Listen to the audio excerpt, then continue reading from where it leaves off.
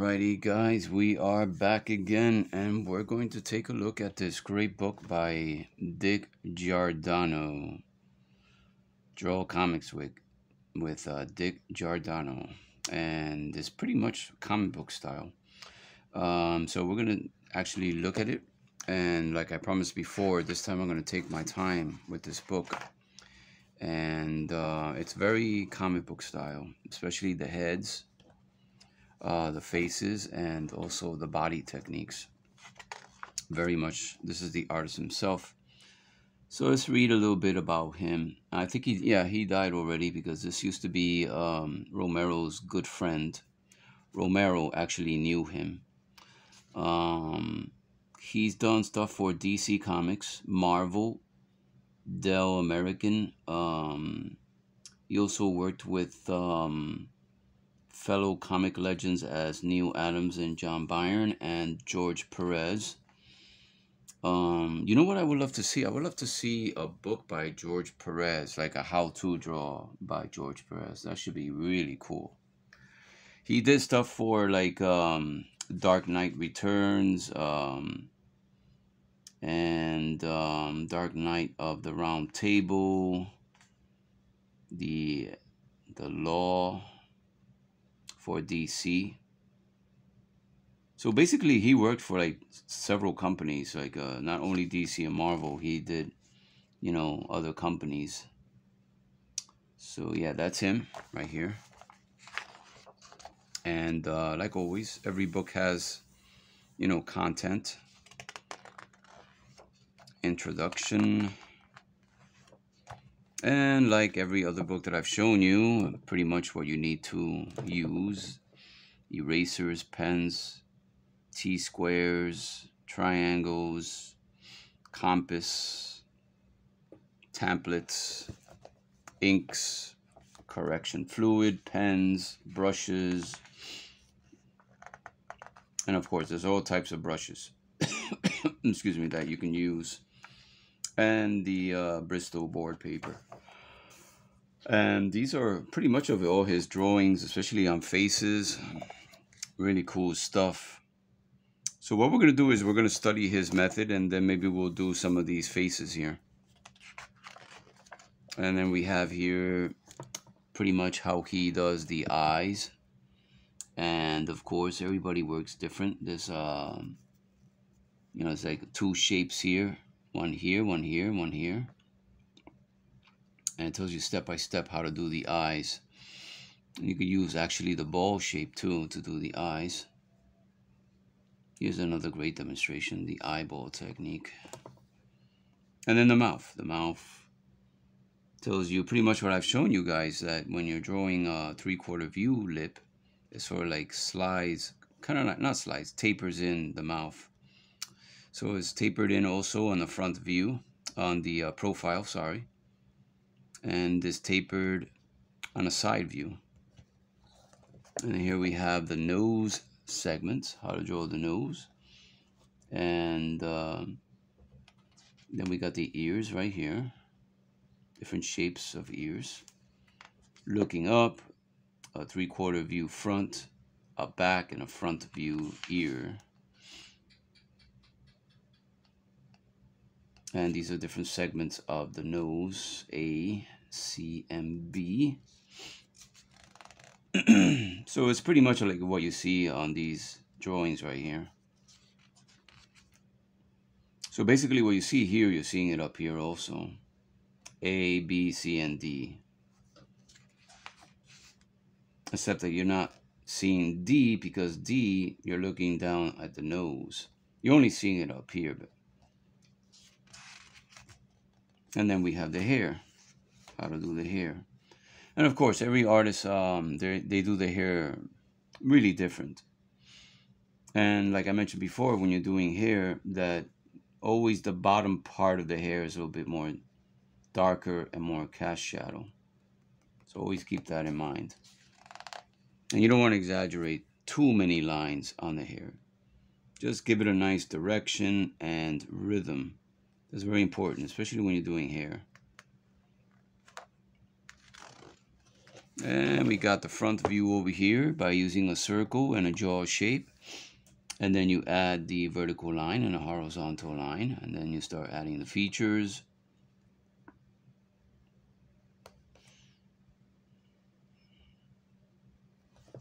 Here's the uh, profile. And my favorite of them all, the three-quarter view. How to do a three-quarter view. Notice that it's almost like the Loomis method, except that the segments are made differently.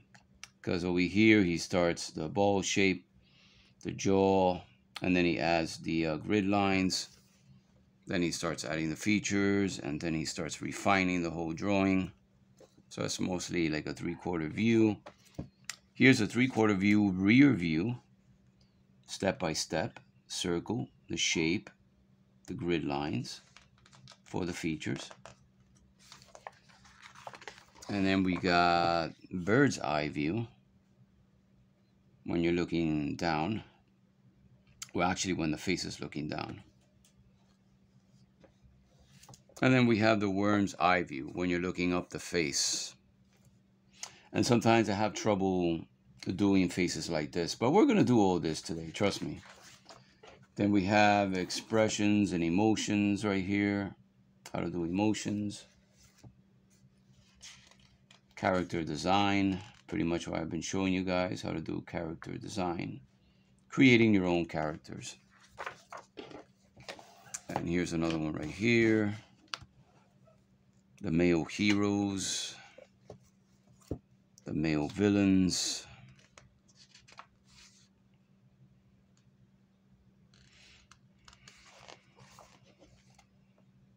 the female villains, and then we have the thugs, the bad guys, the villains.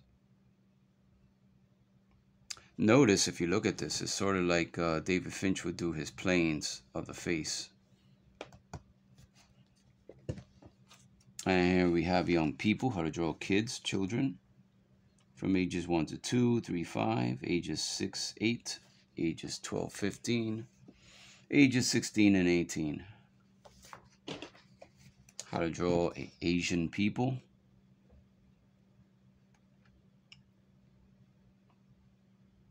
And this kind of looks like the, the Loomis method.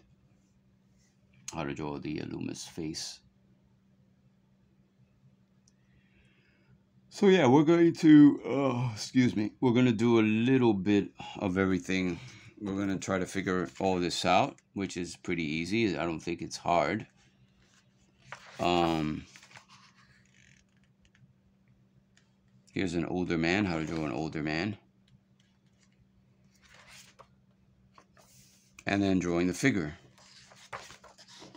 The proportions of the figure, the proportions for adults, proportions for children, and construction, constructing the figures. And then we have more stuff over here. Loosely sketch the figure, other approaches. So he's giving you different ideas how to form the figure.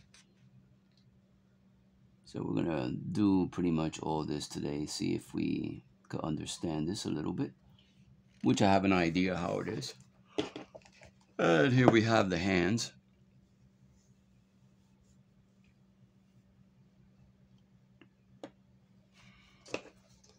And the feet.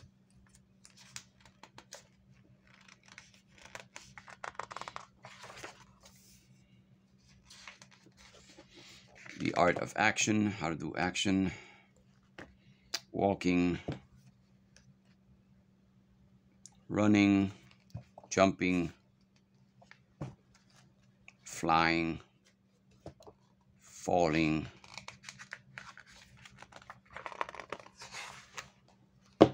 fighting, punching, kicking. And this is a great idea, great tip that he got actually tells, he actually writes it down. A friend of mine in the business visiting my studio introduced me to this simplified method of figure construction. is extremely helpful for planning active movements. So I'm going to show you how you do this one.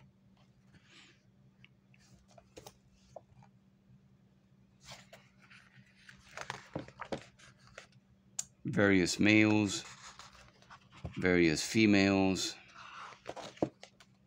foreshortening, how to do foreshortening. And when you're doing drawing through. I'm also going to give you an idea, a tip how to draw hands, especially when you're doing dynamic hands, which might help you guys out. It has nothing to do with the book, but it's something that I just remembered right now, now that I saw the hand. So I'm going to share that with you also. Cost, costumes, how to draw costumes on, on your characters. More costumes. And yeah, you got to be creative when you're creating. I mean, so far, I mean, way, way back when I was younger, I used to come out with some really cool costumes. I don't know what happened to me now. Um, I, I I'm sticking more with faces and heads, and and of course I do my own type of faces and heads, you know, on character design. But I need to practice um, to do uniforms and costumes. You know, especially when you're doing, you know, the head part you have to make it look like that it's actually going to be it's going to fit in you know what i mean? If you're going to draw a strange face you want to make a strange costume also. So yeah this is another way how to draw the action by using the balance line. I don't know if you can see the balance line right here but it shows you right there. So yeah we're going to do a little bit of everything people. Um,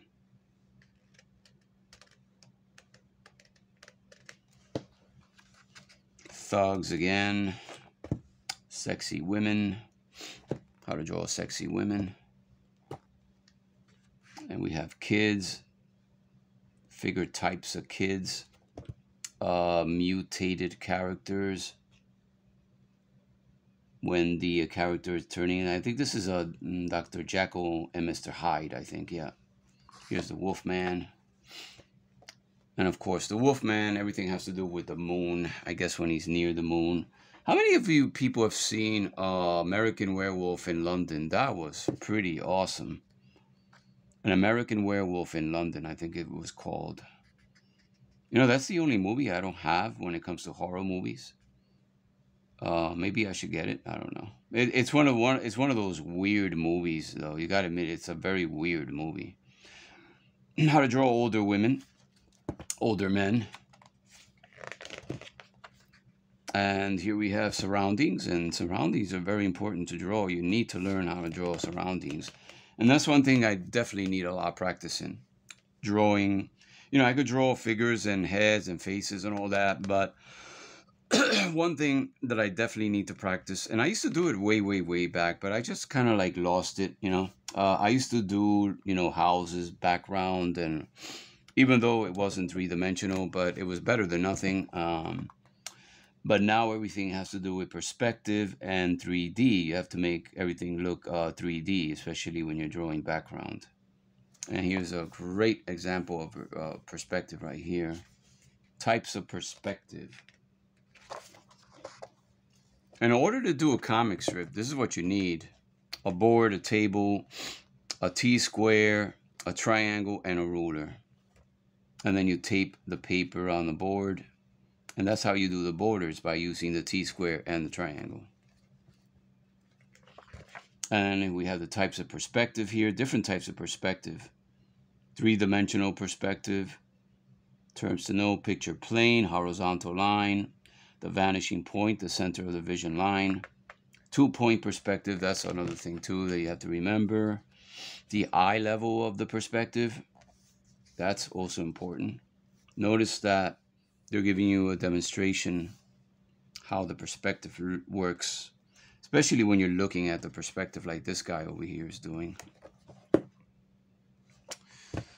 Also drawing a one point and two point perspective right here, see?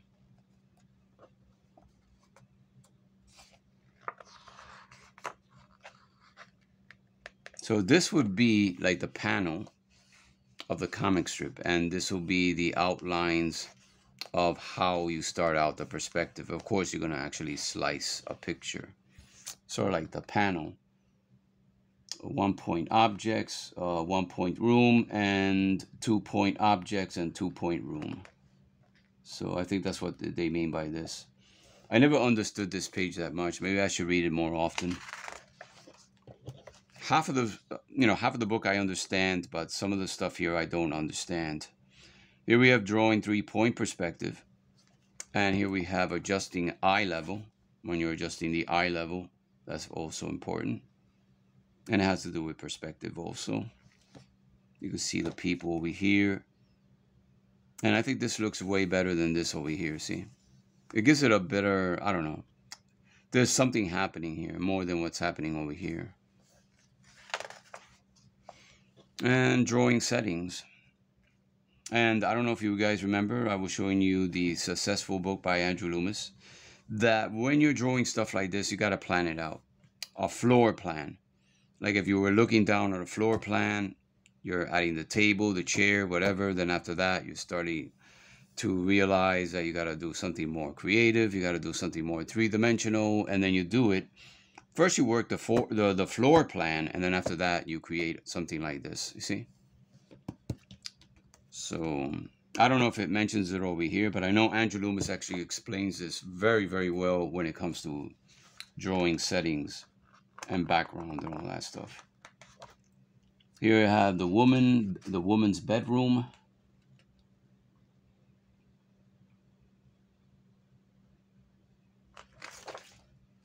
Uh, here we have placing the people. And here we have crowded room when you're drawing a lot of people in a crowded room. And front of the beach, and you can see the perspective over here. Notice that everything lines up. Well proportioned and perspective at the same time. and drawing guns. And then when you draw guns, you definitely need to know to learn that everything has to do with cylinder shapes, block shapes, rectangle shapes, curve shapes, circles. Yeah, especially when you're drawing a gun like this, perspective. Here we have a, a regular three-quarter view gun, and you can see it's 3D. This is also 3D in a way. Kind of looks flat, but it's kind of like 3D. And when you're adding blacks, and you know black lines and thick lines you're going to make it look more like three-dimensional of course the butt of the gun looks three-dimensional.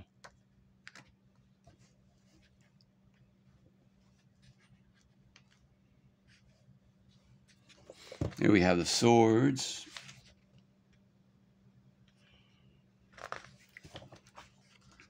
Gun types. All kinds of weapons. Again, yeah, gun handling when a character holding a gun.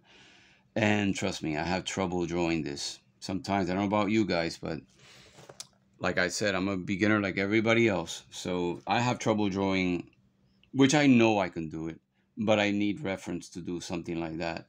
Like, for example, I can copy this and draw it. I wouldn't have any problem with it. But drawing it from my head, you know, a character actually holding a gun, that's kind of hard to do.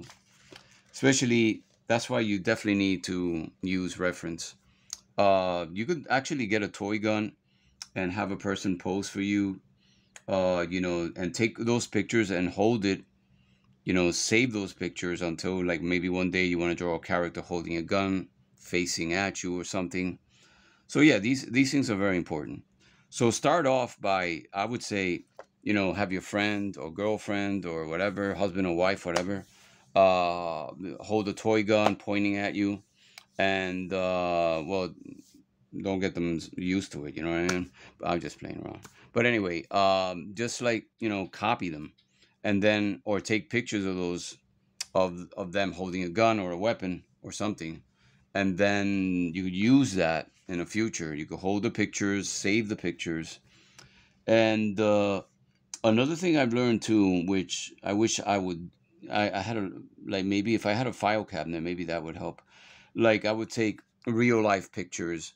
Um, I used to have a camera a long time ago, um, way way back, but I'm not into photography anymore like I used to be. But anyway, I would do that. I would actually take pictures of everything I need, buildings, whatever, cars, whatever, and just put it in a file cabinet and just keep it for, you know, future reference whenever I need to draw anything. Okay. So this is a more more like explosion and gunfire techniques, you know, effects, creative tools that you can use, sponges, fingers, especially when you're using ink you know you can actually do these you know fingerprint techniques whatever. Uh, here we have cars. And you can see he started off with a block shape cylinder shapes then he started forming the car now there's so many ways of drawing cars some people start with a base then they start building it up and that's how they draw cars some people would just use a block shape or they'll just simply scribble in the car because I've seen a lot of people draw cars, you know, they actually scribble in the form of the car. So here we have uh, trucks, how to do the trucks. Um, form and block shape and cylinders at the same time. So here we have the art of inking. Um, that's something important, doing inking. And what I like about um, Giordano, that Giordano, he does some really cool inking. Look at that including in the demonstrations. He gives you an idea how to do the inking. And just like I've shown you with the pen brush, which I have over here, which I'm going to give you a quick demonstration. Um, actually, we'll use this.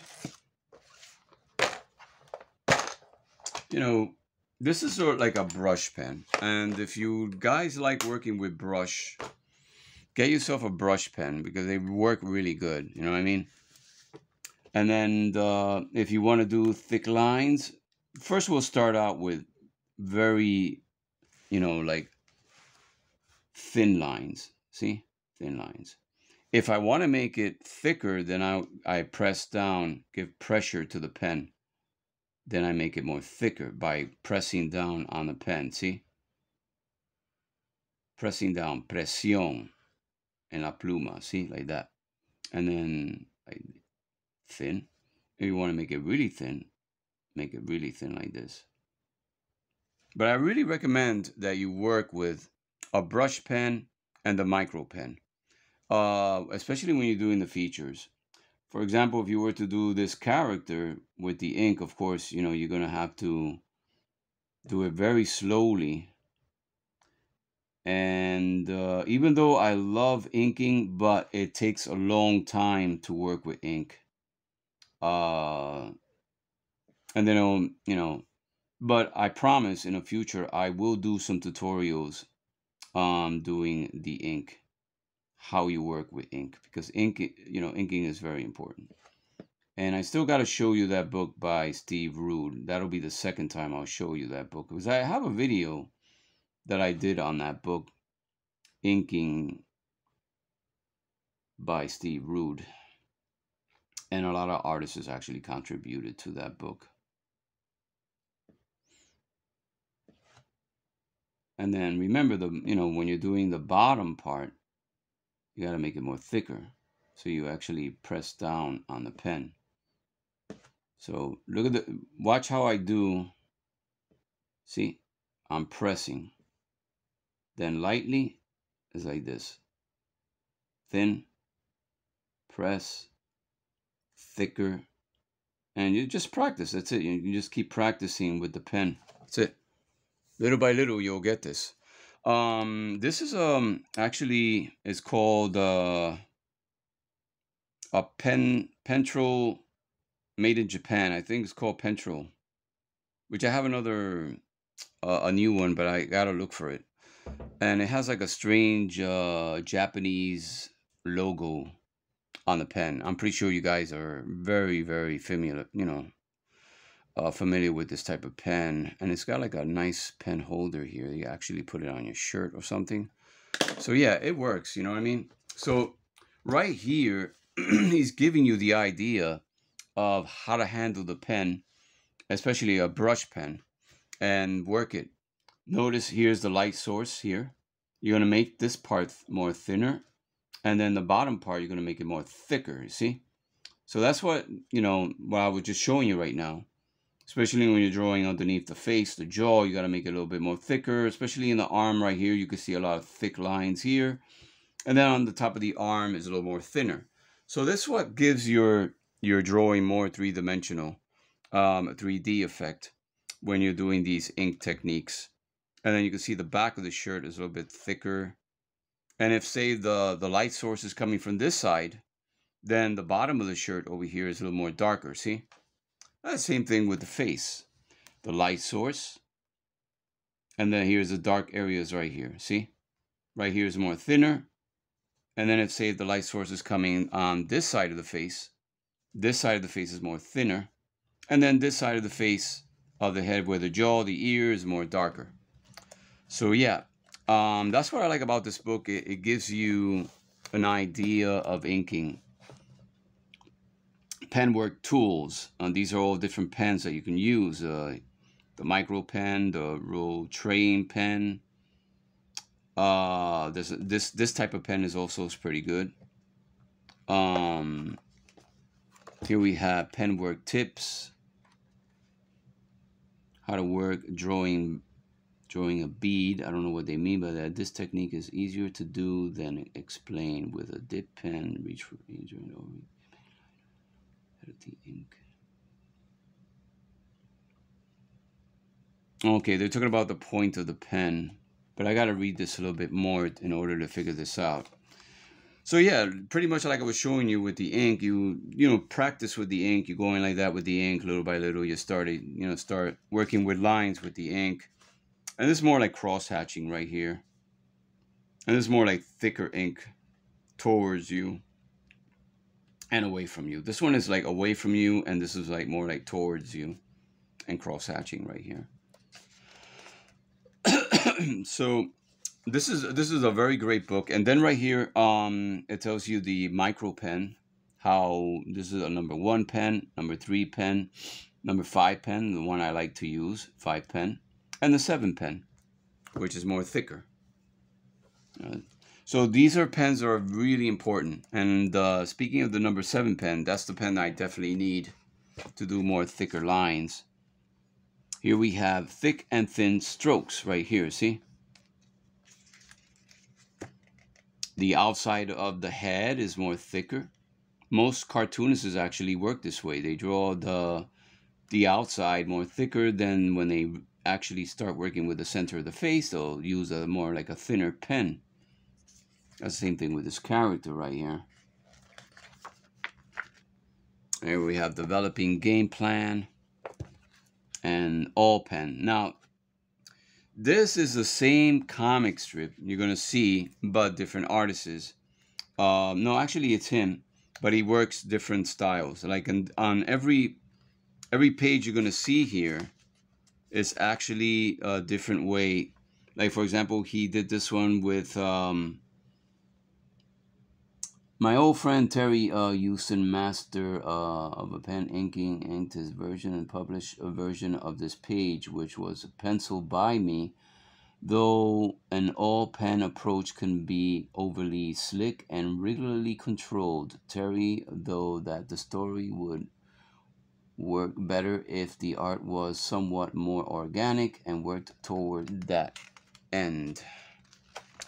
So you're going to see it's the same story, but different ink techniques, all brush. You see, this was done with all brush. No inking, no pens, just all brush. Now, I couldn't do anything like this. I got to work at least with two pens if I were to do a comic strip. You know what I mean? But this whole segment here was done just brush. That's it. And that I'm pretty sure that took a long time. And then this one is pen and brush.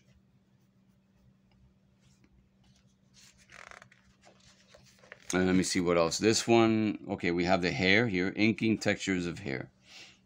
And it tells you all, you know, like I said before, like, you know, the top of the hair is a little bit lighter and then the bottom part of the hair is going to be thicker. And you can see a lot of details from the from the center of the hair.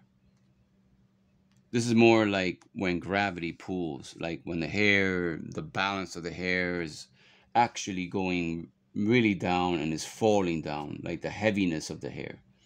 So it's pulling the hair all the way down. And of course, even though it's got rhythm, the hair, and that's one thing that's very important, the rhythm of the hair. But remember that when you're doing this in ink, you got to follow the same rhythm of the hair, especially with the inking. And that is not easy. That is pretty hard to do sometimes. Here, here it might be a little bit simple because the hair is shorter, but this would be a little bit harder to do, I guess. You know, this is a little, maybe a little bit easier, but remember this guy is black hair, dark hair, no outline. See. Okay, then we have fabric when you're doing clothes, um, inking. So he's giving you an idea how to do the inking. So, you know, practice by, if you're going to work with ink, which I definitely need a lot of practice doing ink, um, you got to do it slowly. You got to like really, really put your mind to the inking process. And you really got to figure out where the blacks are. And like I've said before many times that try to X the parts you're going to do. Like say this is black or this is dark here, you're going to put an X on all the dark areas. Kind of like visualize where all the black areas are. And do what uh, Andrew Loomis uh, did on one of the pages that I shown you that he sketches out a thumbnail and he does a lot of blacks. Even even if it's a dummy drawing, you can do that too. You can practice by making dark areas, whatever, and then when you do the actual drawing, then you know what to do. So I think that's the best way of describing it. Here we have the sequential storytelling, how to move your story around. For example, she's in the hallway, she's suspicious of something, she's ready to open the door. She opens the door and then she's frightened. That's how you're doing, you know, when you're doing storyboarding. And of course, storyboarding is used in movies, and that's how they do movies. When they do movies, they do storyboarding of, say, when they did Star Wars, they definitely did storyboarding on that. So that comic books are uh, it's it's all about storyboarding too. So and here we have the close-up shots and the long shots. And let's see what else we got here. The two shots, the mob scene, and the trick shot. I don't know what they mean by the trick shot, but I got to read this page more too. So there's a couple of pages here that I haven't read that much. Paneling pages and then now. I don't know what they mean by that. Let me get some water. My voice is getting dry.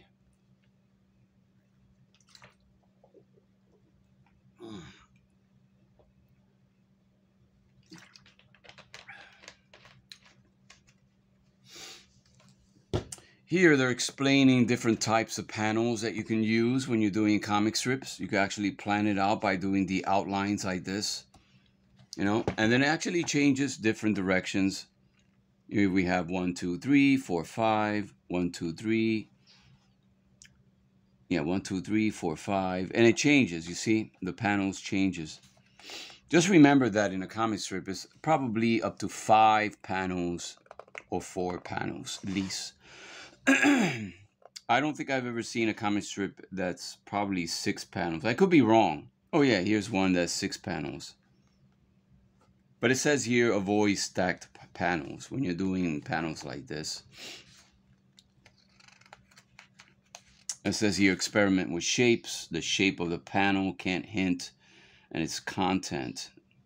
Diagonal, speed, action.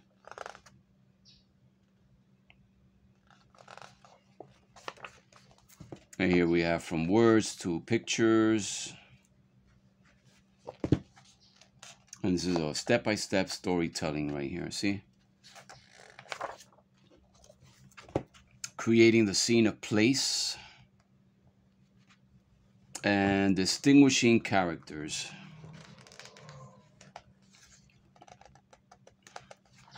And what I like about uh, Giordano that he's very classic art even though it's a little bit, you know, cartoony and comic book style, but it's very, very classic.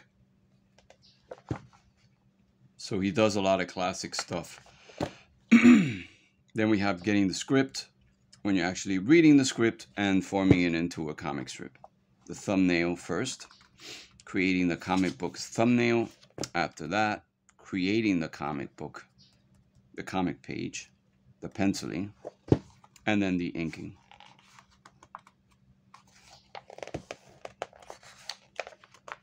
Coloring.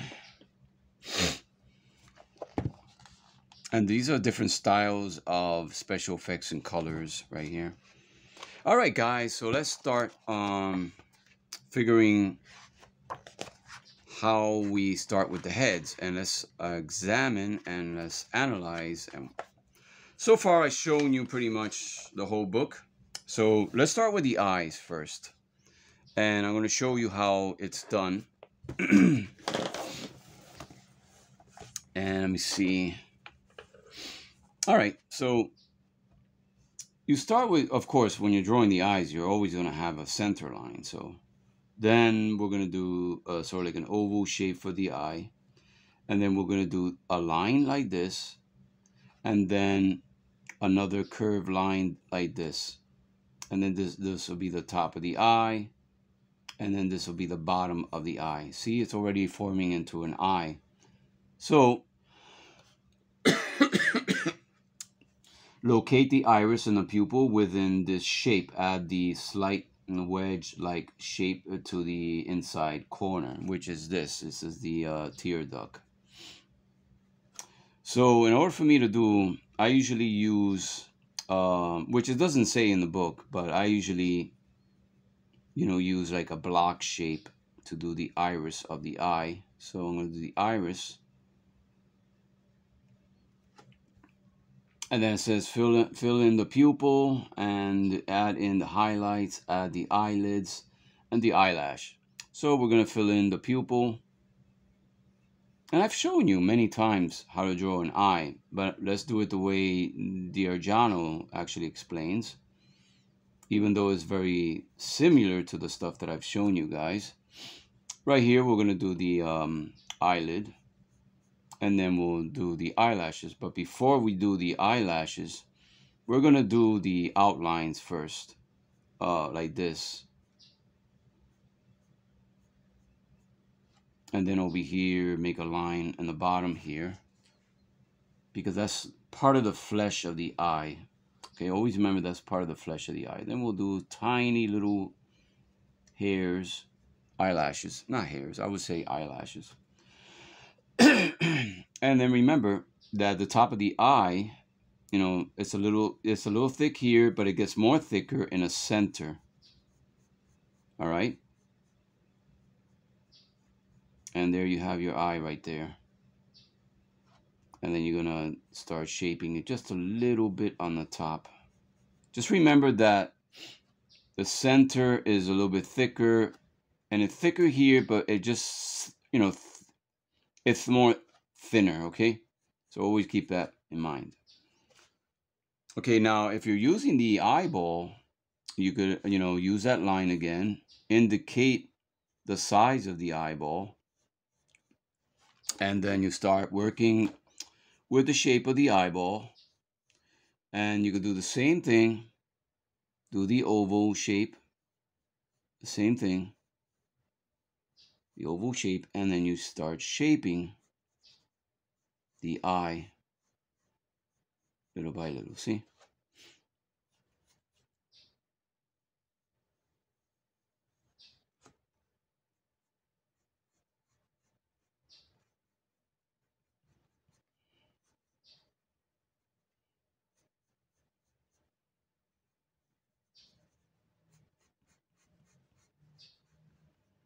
Okay, so that's pretty much what he's showing us in these pages right here using the eyeball technique. So let's go with the mouth. And what I like to do, since I like to work with a three-quarter view, uh, supposedly, uh, remember when you're doing the three-quarter view mouth, you're visualizing, here's the center of the mouth right here, which is a vertical line going down, of course. This side, you're going to see less, and this side, there's more um, outline of the mouth actually is more wide over here and shorter over here. Just remember that this side is wider and this one is shorter. So what we're going to do is we're going to do uh, the indication of how the mouth is. We'll start with the center first. You know, you go always start the top here first and then work with the center. I think it's better to start the top and then the center. But be careful with the proportions. Here's the bottom lip right here. Now to figure out a three-quarter view lip, I'm going to visualize a tapered line here. Okay. And this will be the outline of the side of the lip right here. And this will be the, um, the other side of the lip right here. Then this is the uh, bottom part of the lip. And then I'm going to actually widen this, you know, stretch it out a little bit. And that would be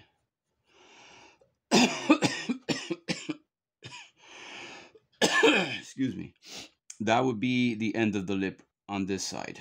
So it's a three quarter view lip. Just remember that you have to, you know, taper this in, this part. And then right here would be the side of the face.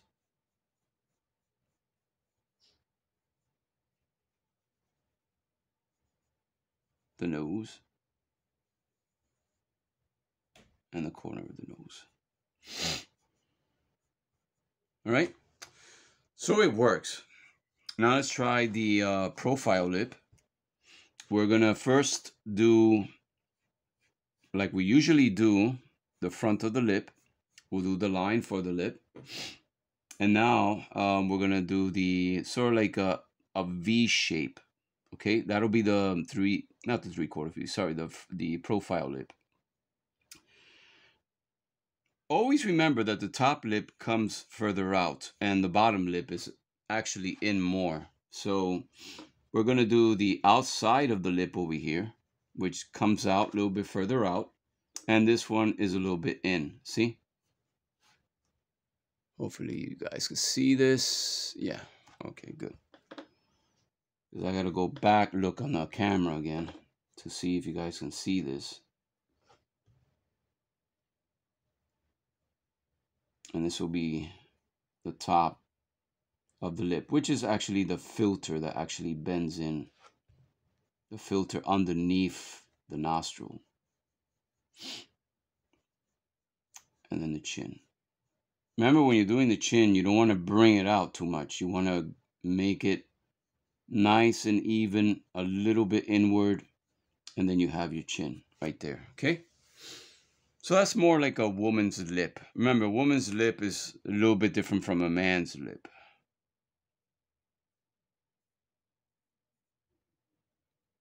This will be the outside of the nose and the tip of the nose right there. Okay, so now let's draw um, this lip right here. Sort of like you're looking upward.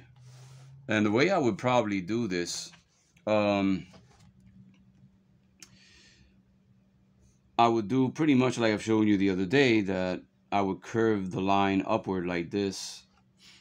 And then of course, this will be the bottom part of the lip and the center of the lip all the way like this. And then I'll start doing the outline of the lip like that. And here's the filter in the corner of the lip.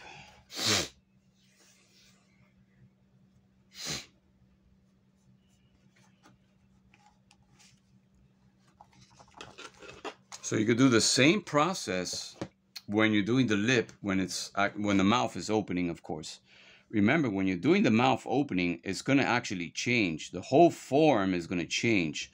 So you're going to have to make the top of the mouth open wide and then the bottom part of the mouth open wide. And it's it's going to give your face, you know, expression, especially when you're drawing faces with expressions.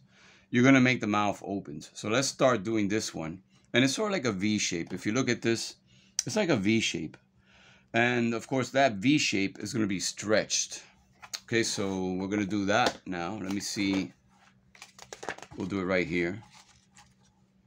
We're going to use this for reference, of course, because I definitely need a lot of practice with open mouths. So we're gonna do an open mouth, and we're gonna do a, like a not a V shape like this, but a V shape that's kind of wide open. All right. And then we'll start doing the lip over here, the bottom lip here, and then here's the top of the lip. And remember, the top of the mouth comes out further out, especially with the lip, right? So the teeth are going to be in the bottom part of where the, the lip is right here. And, and then we'll do the other set of teeth on the bottom part of the, the mouth right there. So, so far I've got the, the mouth opening and then I got the dimple over here. And let me erase this because that's going to actually throw me off. And it looks like there's a mosquito that actually dropped a visit on me. It's bothering the hell out of me. It's biting me. It's worth when I have no shirt because I have no shirt. I hate mosquitoes.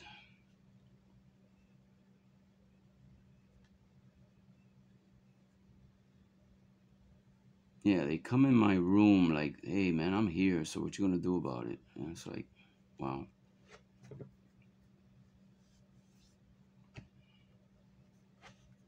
Now we could do also a hint of the other side of the teeth, which is sort of like darker on the other side. Okay.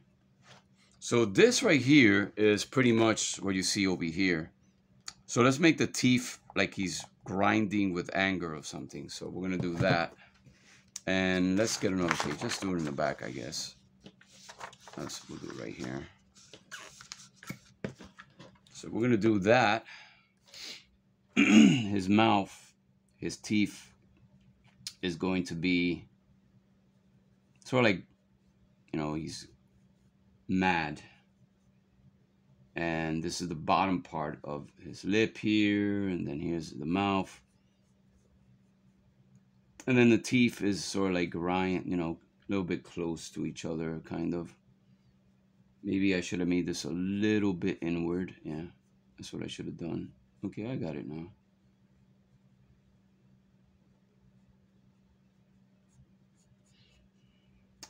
This was pretty hard to do. It wasn't easy. But it's it's an idea. So I mean, you could practice by um, if you guys get the book. I really recommend you guys get the book. That way you can understand this a little bit more better. So I'm giving you an idea, but then again, I might do a blooper. You know what I mean? So now let's do um, this mouth right here. It's sort of like wide open. And let's see if we can do this one. So in order to get that pose, um, I'm going to visualize the open part of the mouth and then the bottom part of the mouth. And this will be the bottom part of the lip here.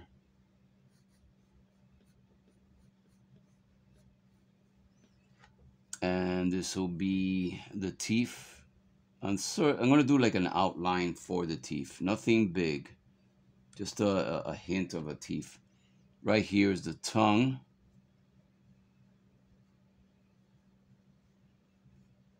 And this is the bottom of the teeth right here. Then the lips on top of the outline of the mouth right here. Okay. So I already got the, you know, the outline of the lips in the bottom right here. And then I got the chin right here. So, so far it's looking like an open mouth. Not what I expected, but I mean, this is a very complicating pose to do. It's not so easy. And even though I know how to draw faces, I mean, these are one of the things I definitely need a lot of practice, you know, to draw the um, expressions on mouths and expressions how the face works, uh, especially when they're in, you know, doing expressions like this. And then right here, I'm going to start, you know, make it more, give it blacks, add some blacks, because there's a lot of cast shadow, especially inside the mouth. There's a lot of dark areas.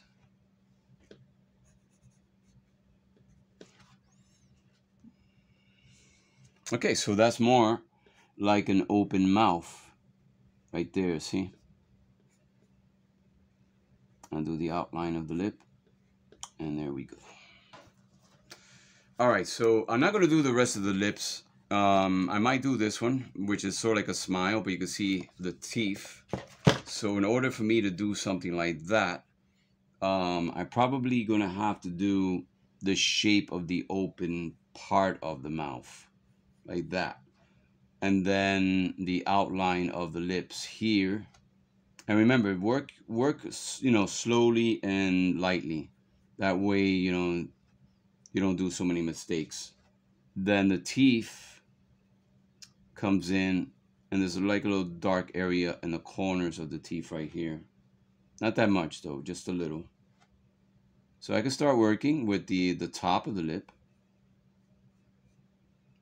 the shape of the lip, right there. And then this will be the front part of the teeth right here. I'm going to do the shape of the teeth right here. And now I could actually uh, do a little space here, like make it darker over here, and then bring the lip a little bit higher now. See?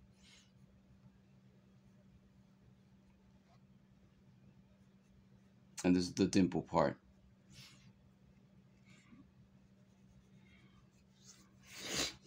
So that's pretty much what you see over here. Now remember that when you're doing the teeth, always remember that you don't want to add too much detail on the teeth. So you're doing sort of like a hint of the gums on the top, like this, and a hint of the outline of the teeth. Because in comics, it's done this way. They don't exaggerate too much you know, they don't add too much lines on the teeth. Just a hint on the top, the gums, and the, oh, the mosquitoes bothering me. The, you know, the bottom of the teeth here.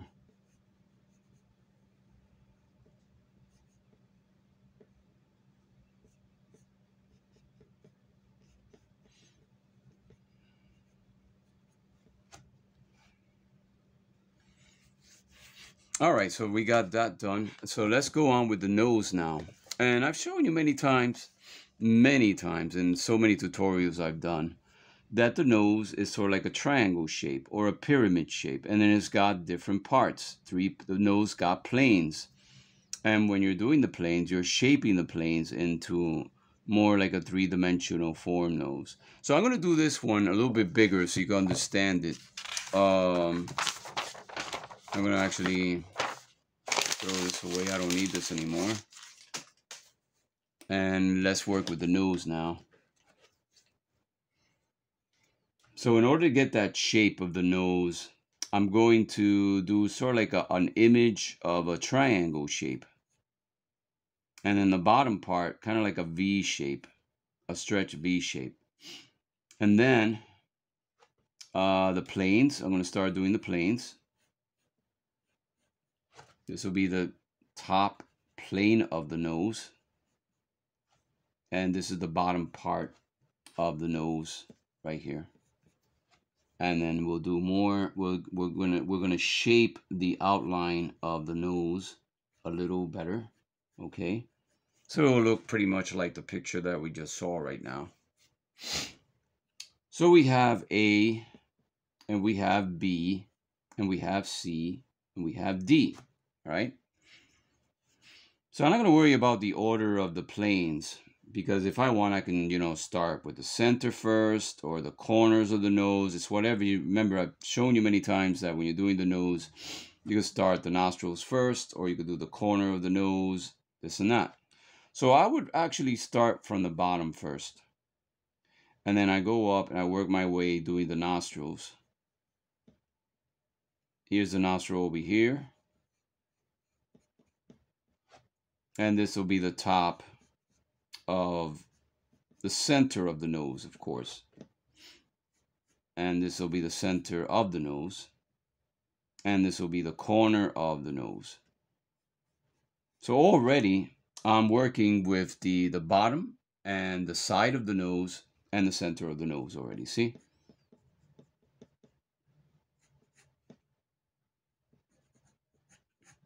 And right here, I can actually do the bridge of the nose if I want right there.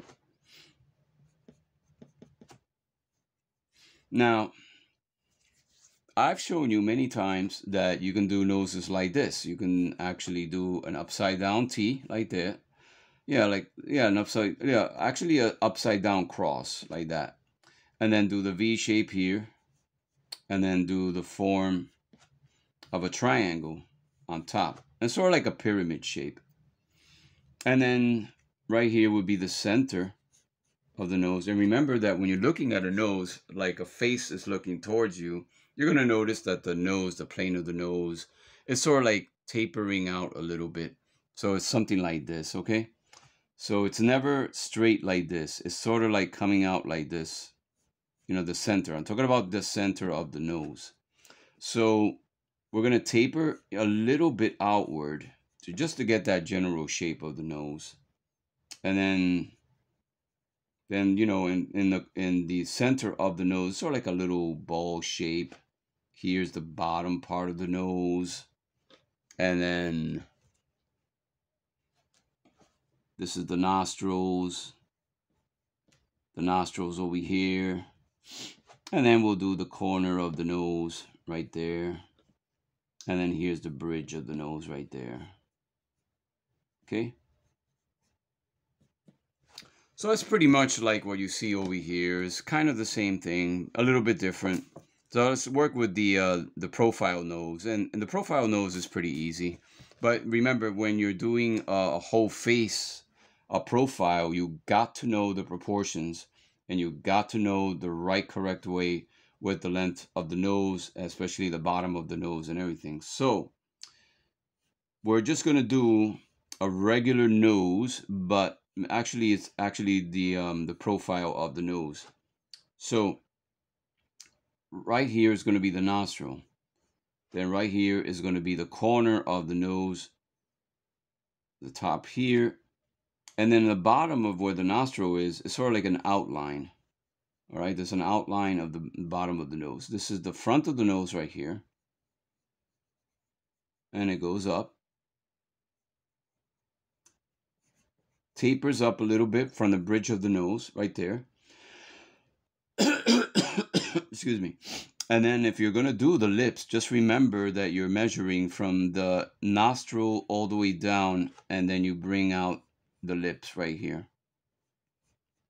Remember right here. Okay. And if you were to do a whole face, imagine if you're doing a whole face, here's the outline for the nose, the mouth, the lip, here's the chin. You got to remember, you have to follow the proportions. If you don't follow the proportions, then your nose is going to come out really bad. Your whole profile is going to come out really bad. And then you start working with the outline from the the eye socket, from the bridge of the nose, bring it out, the tip of the nose, the corner of the nose, the outline of the mouth right here. And right here would be the bottom part of the lip. And then we have the chin right there. Okay.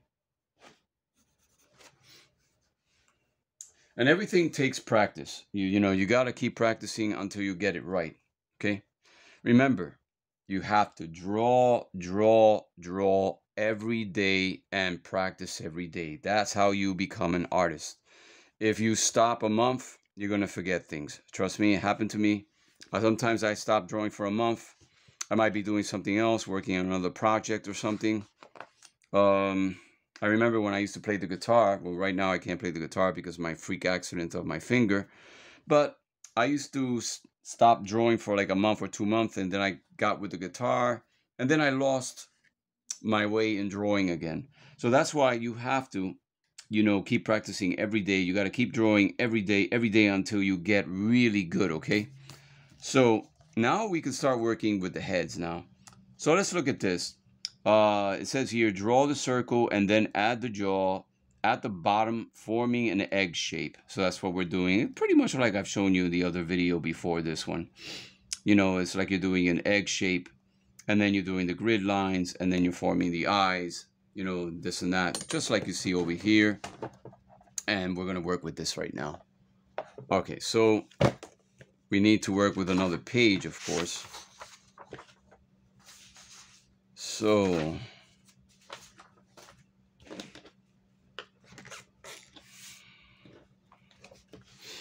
Okay, I don't know if I can bend this book. The thing is, if I bend this book too much, it'll probably rip up. So, so I'm just going to hold it like this and just look at it.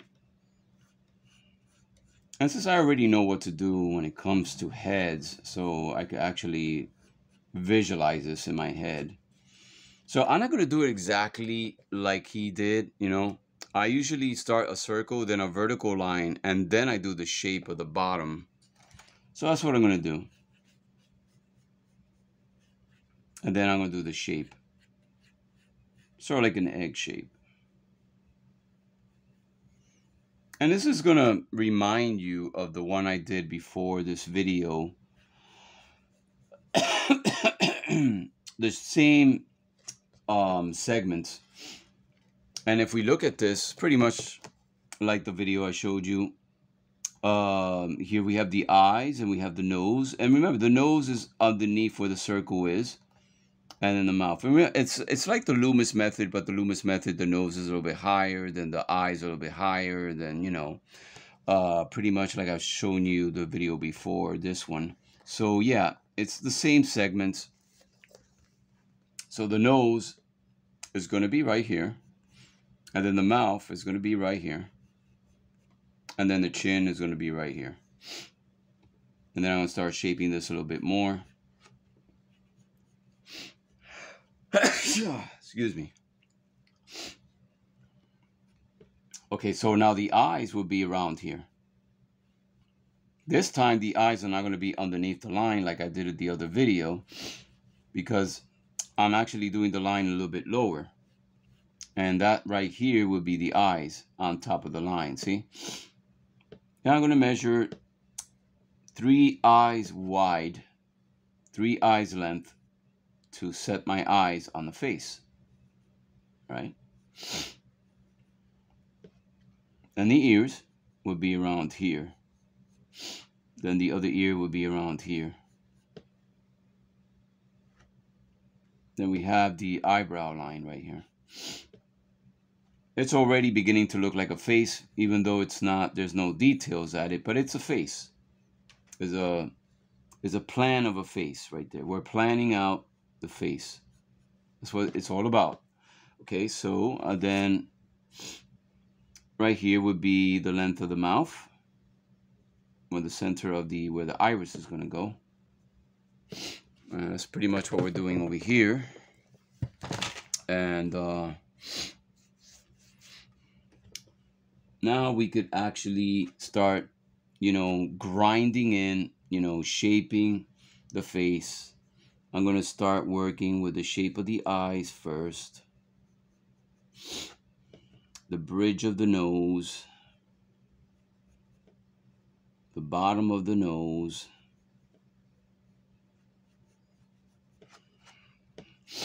The mouth. Bottom part. The eyebrows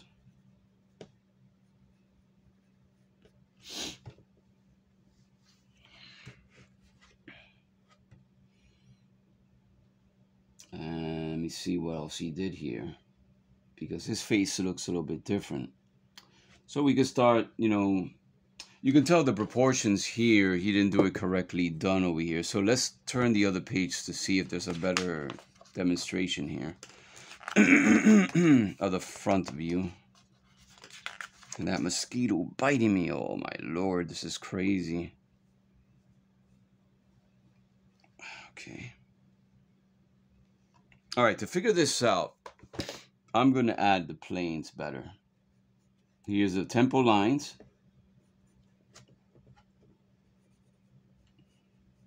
That's what I'm going to do.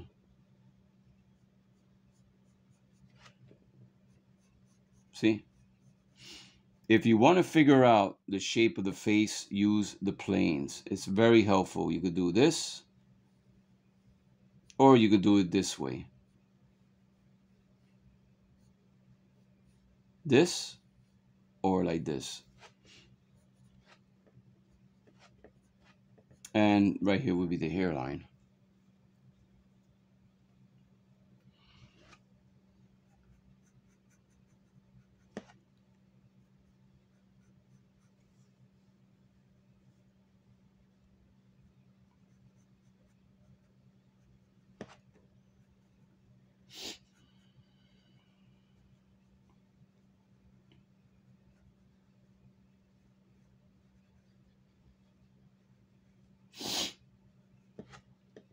I asked um my friend Romero from Facebook uh if he can do a like maybe a tutorial um since that was one of his good friends Dick Giordano if he can do something you know to show us how he did this book. He said he's going to try. Let's see. Hopefully. So I'm doing my best. I'm giving you an idea how I do it um, but maybe Romero could probably do it better than I could. Um, so far, I have the idea of it. Now, then again, you know, the only one that knows, you know, that actually did this technique is, you know, Dick Giordano himself. You know, so even though we're using his technique and we're learning from his book, we have to respect uh, pretty much if, you know, figuring how he did it how he actually started working with the, the method and stuff. But I guess he did the book. When he did the book, I guess he's giving a you know giving us an option that pretty much like Loomis that Loomis gives us the formula, but with the formula we figure out how things are done with the formula. Okay, so that's what pretty much what Dick Giordano would do. Okay, so that's pretty much so far I got the idea. I had to use something different, of course, because it, the thing is, this one doesn't show you any um, the planes, and I really do think that the planes really help the face a lot. It actually gives you more uh, a better view how to draw the face in better shape. Unfortunately, he didn't do it over here. I think that's why his face didn't come out that good, especially here. It just the eyes are too big. Um, I think he did this too fast. You know, I respect him a lot, but I think the proportions on the face did not come out so good here. I, I don't know. Um, then again, it's it's you know cartoony like you know what I mean. Um, if you want to do something more realistic, of course you got to figure it out yourself. Um, just like I did right now with this demonstration. All right, so let's um let's look at the profile. And uh, he did the same process, a circle, the jaw shape, and then he added the, the grid lines. After the grid lines, he starts adding the features for the eyes, the nose, the mouth, all the works. And then he did the hair. Uh, notice that there's layers. You see, there's layers, layers and rhythm for the hair. And then he shades in the hair. So let's see if we can do this one.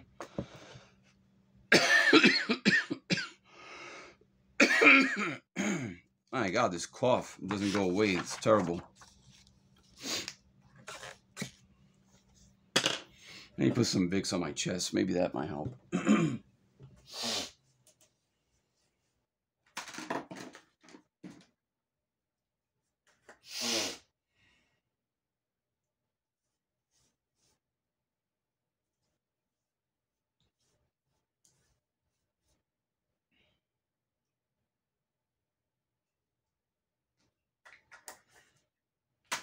All right.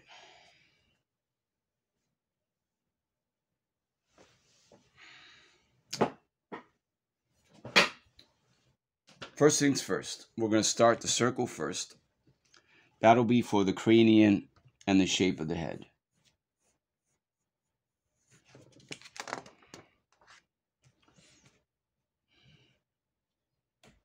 Then we'll do the jaw shape.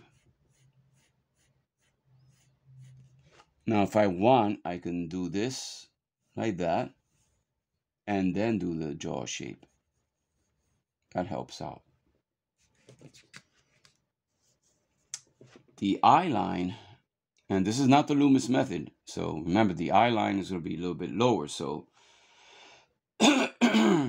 first, I will indicate the eye line around here, the nose line around here, and then the chin line here.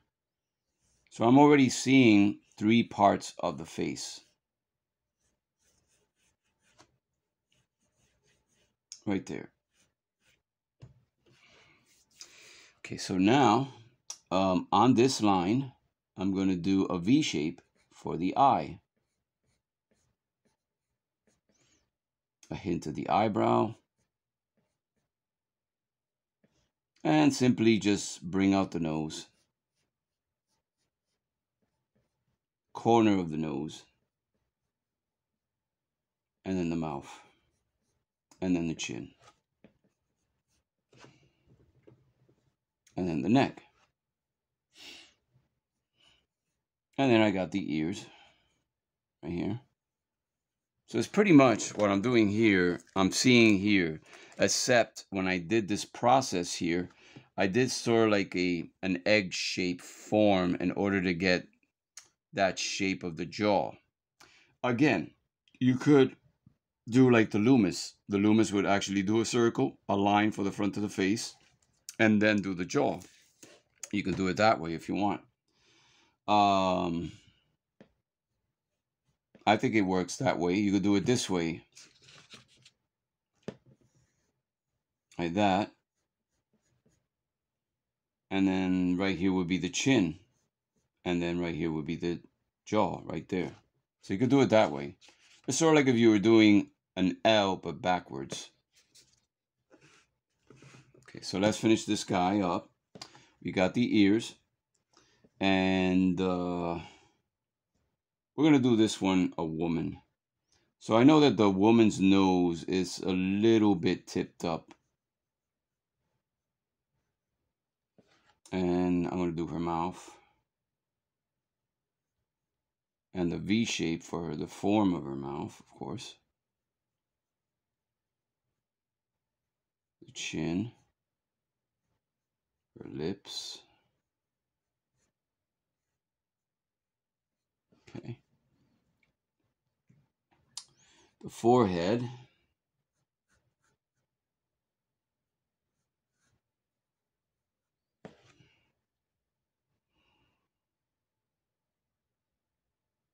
Make sure I draw those eyes correctly. Especially the eyelashes and fix the eyebrows a bit.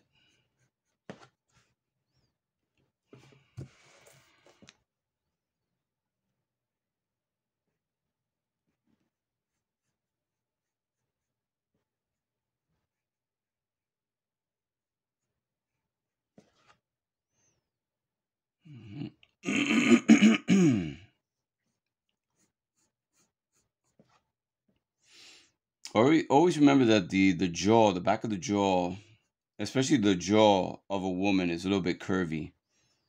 It's never too straight.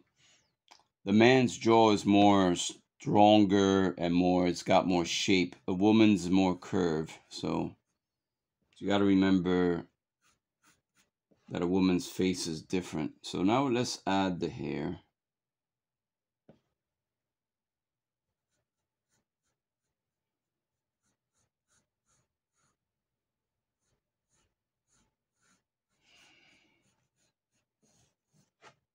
So I'm gonna do,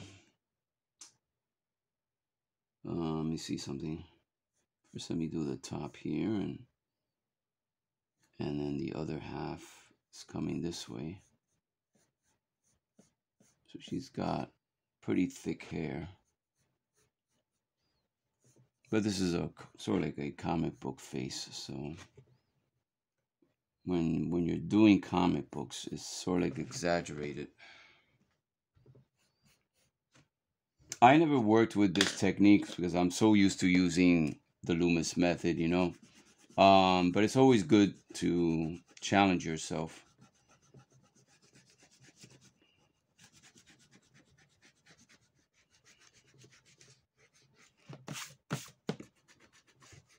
Okay. So we have an idea so far how her face is going to work and this will be the inside roots of her hair right here. And let's start working with uh, the layers of her hair. So she's got a lot of, you know, a lot of layers. It's sort of like some of them are really close to each other and some of them are a little, like far apart from each other.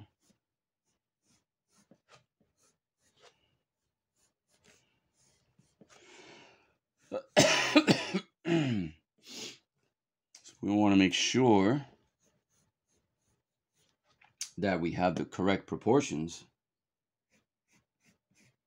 of the the rhythm of the hair, of course.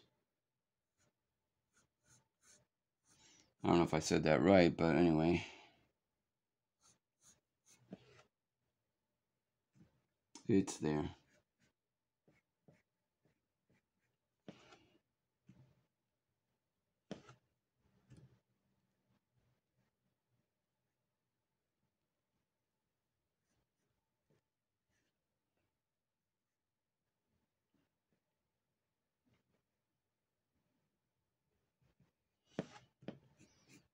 So it's, it's coming out pretty good. It's not that bad.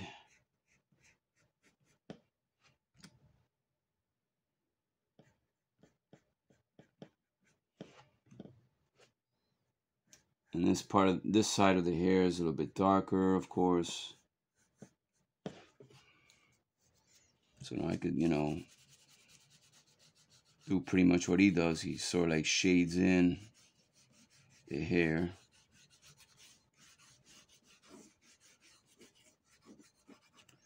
But I'm not going to do too much details on this because I'm just giving you an idea how he did this over here. So, all right, so let's go on with the next page and let's do the three quarter view. The three quarter view is almost like the Loomis method that you see over here. Let's draw the circle, add a jaw, line, appropriate for this three quarter view, front view. Bisect this form both horizontally and vertically the vertical line determines the view of the head at a plane, which is this right here, which it says here A, a plane, that forms the dividing point between the front and the side of the head. Okay. so what I'm going to do is, I'm going to do it the way he did it, and then I'm going to show you another way how to do this because I think it's important that I show you both ways. This will be part of the side of the face, the jaw, and then here's the back of the jaw here. Okay. So this will be the eye line is going to go further down. And this will be the center of the face. And then this is the plane that he was talking about. Pretty much like I did on my uh, other segment. Now you can do this pretty much like I did on the other video that you just, you know, indicate, you know, the nose line and the chin line and maybe it's more easier to do. But You could also do it this way. Let's try another approach. Hold on. Let's um, visualize this. Since we're not using the Loomis method on this, we can do it this way. We can do the circle, right? And then we visualize. And I think that's what he did. Yeah, he did a, a line first. It shows you right here. There's like two lines here, you see? So he's not really, you know, he's just giving you the idea of the ball and the jaw, but actually it's supposed to be this way. You do the vertical line to do the, do the shape of the jaw. So, yeah. Then this will be the bottom part of the jaw. So, yeah, I think this is the way you're supposed to do it this way and then we'll do the uh, the jaw here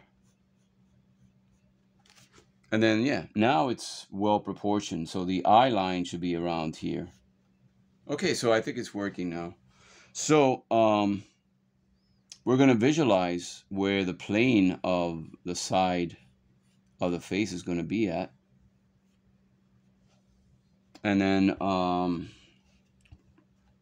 this is where he does the eye right here. And then the other eye a little closer to the vertical line because it's a three-quarter view.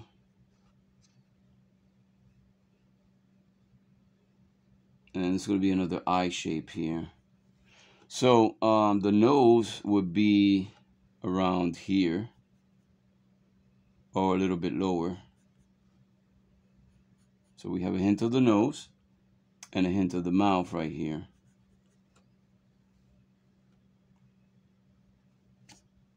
So notice, if you look at this, if you study this, he adds planes for the side of the head, sort of like uh, Finch would do. So, if you want, once you have this done right here, and there goes that mosquito again, you can actually start working with the shape of the planes like this pretty much like David Finch. Like that.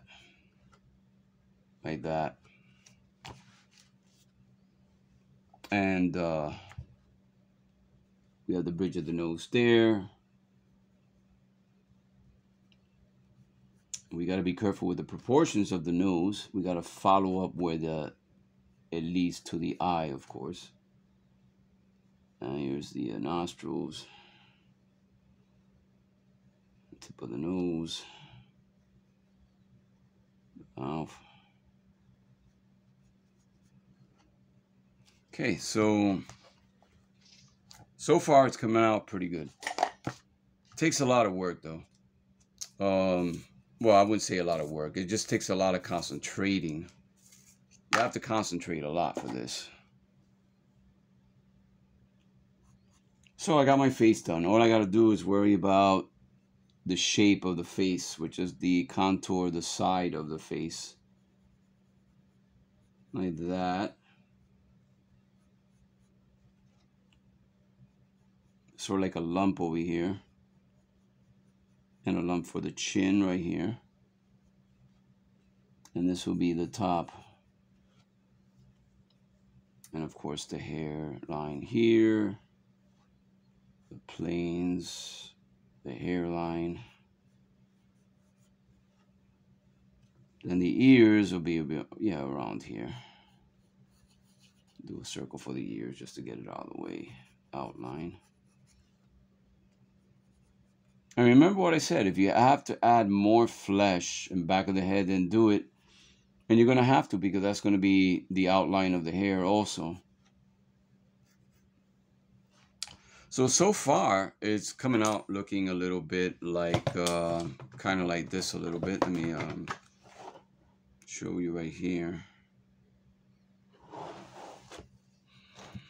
So let's go back. And let's finish this off just a little bit. We'll just do a little bit of some details. I don't promise you that I'm going to do a lot of details, but I'm just giving you an idea how Giordano would do this.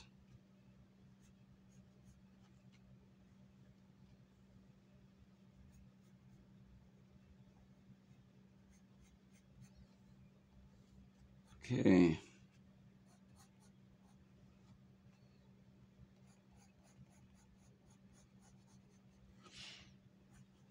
So that's your average, you know, comic book face. Um, I'll do a little bit more stuff here. I'll do some hair over here. Right here. Then the back of the neck.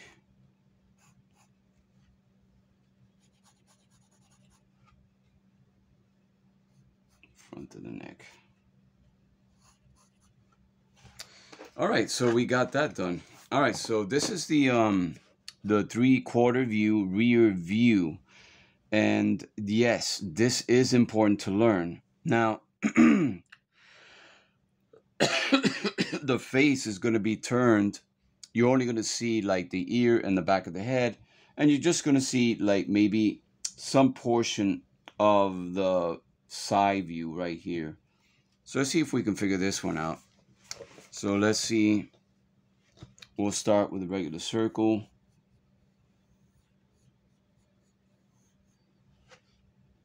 And then we'll indicate the shape of the front of the face right here.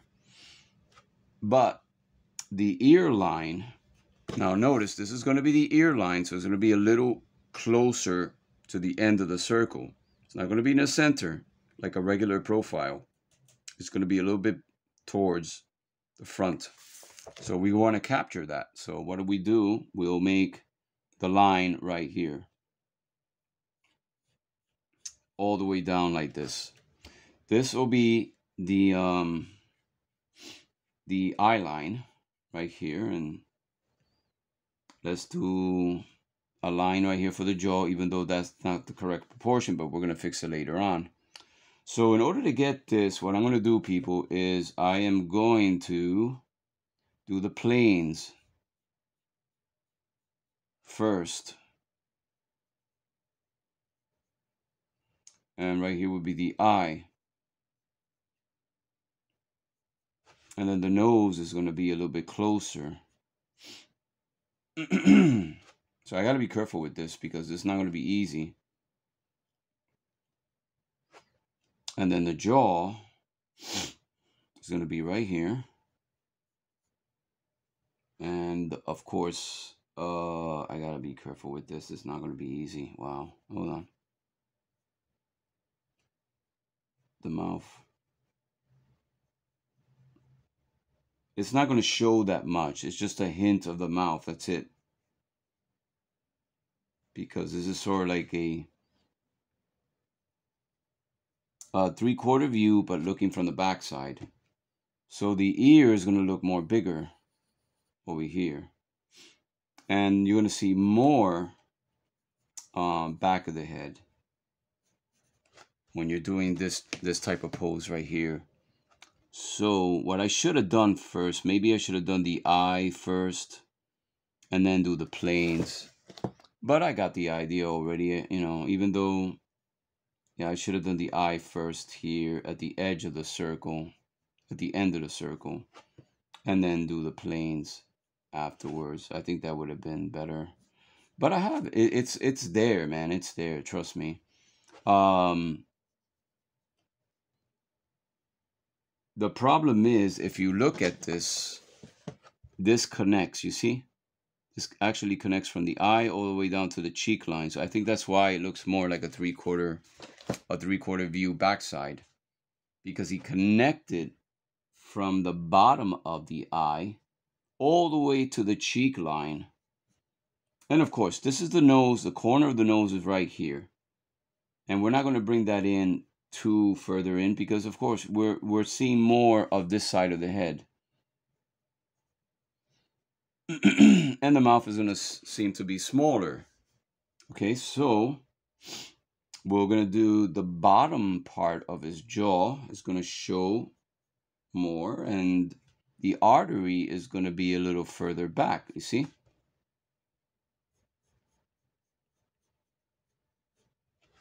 And then we'll have the earlobe right here, a little bit closer. The top of the uh, ears right here. Notice that the ear is going to be bigger than this part, the front of the face, of course. And then you're going to see the eyebrow is going to be on this side a bit closer to the plane of the face.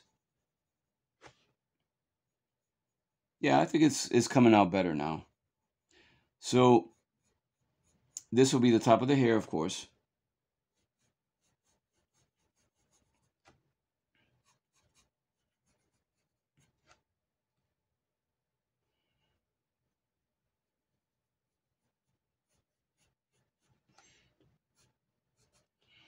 All right, yeah. Um, it came out pretty good.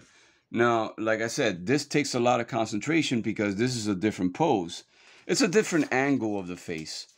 Most people can't draw this type of angle because this is very difficult because you're looking more um, of the backside of the head and you're going to see less of the face. It's not like the three quarter view. The three quarter view is a little bit different, like the front part of the three quarter view. And this is the rear part of the three quarter view. Alrighty, let's go on. Bird's eye view. So let's practice the bird's eye view, this technique. See, let's see how he did this one. And let's study this. Uh, pretty much like I've shown you before that you curve the lines of the features, you see, looking down. Here's the distance from the eye level to the chin level. And here's the nose line. And here's the mouth line. And of course, the bottom of the face is going to seem a little bit smaller. And then the top of the head is going to be wider because the face is actually looking downward. So let's do that one. let's do that one and see um, if we can actually tackle this one. I'm going to do this one a little bit bigger, of course, because, yeah, this is to take a lot to figure out, so, so I'm to do it bigger.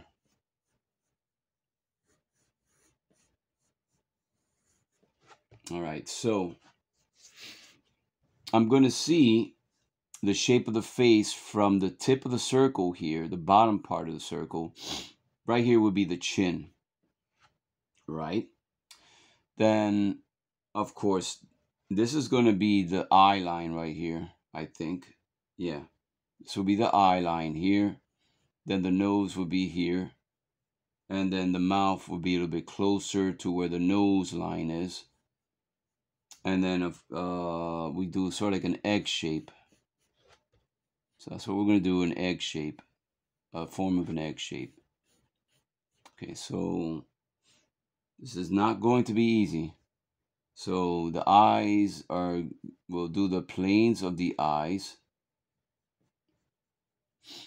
And then we got the nose, but the nose is going to point out more further out because it's, we're looking down at the nose now, so. And then the mouth is right around here.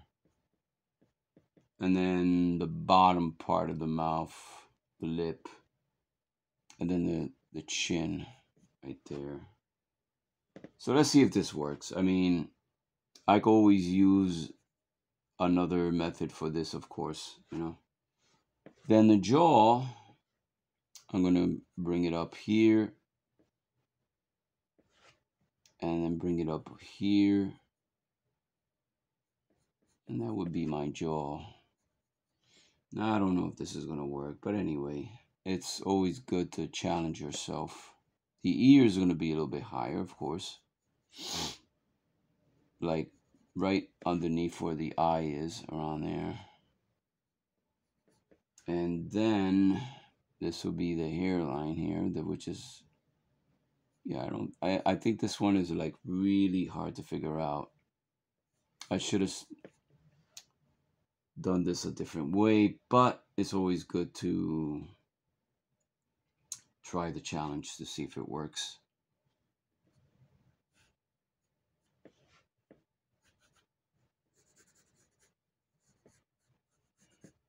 Okay.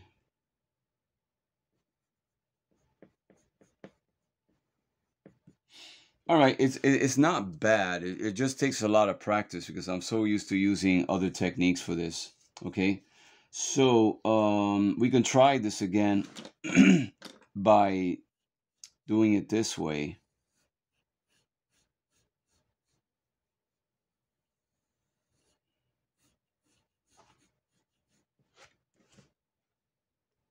this will be the eye line here nose mouth and chin So we could try it that way also. And then we can make the jaw. let's see, the eyes are over here.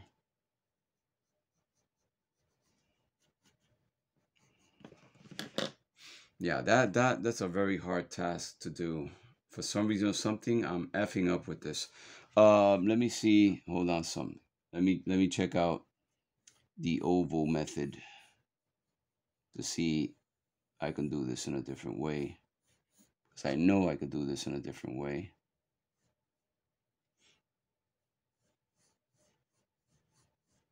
What I'm going to do is I'm going to actually do the eyes first, right? Then the nose. Then the mouth a little bit closer to the nose because we're looking down. And then the chin. See, this is more better now. This actually works. And then I can do the shape of the face with no problem at all. The temple. The cheek lines. Let's do the nose first.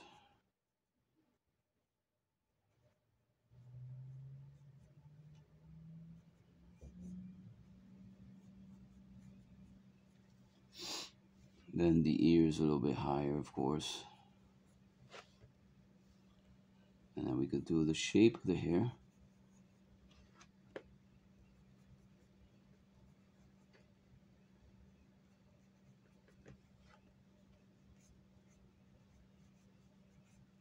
Okay, so see this works better because I just simply use the oval shape, right? Okay, so let's do this angle here. This is sort of like um, like, like the face, but you can see half of the jaw on the bottom. So let's see if we can do this. You can tell the direction of the face is a little different. So, all right, so let's see. Drink some water.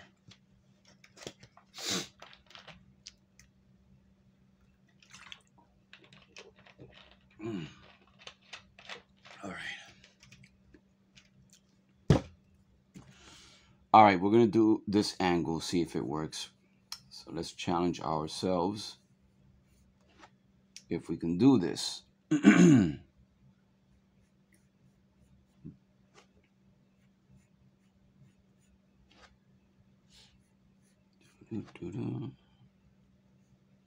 So we're looking upward now on a side view. Sort of like a three-quarter view, but we're looking upward. Okay, so this doesn't really show you that much, but we have an idea what to do. The nose, we're going to see the bottom of the nose, that's for sure.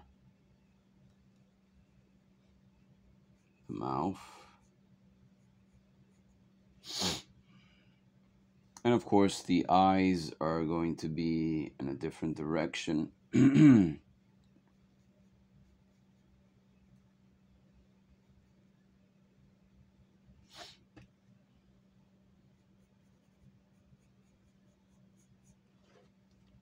and the ears.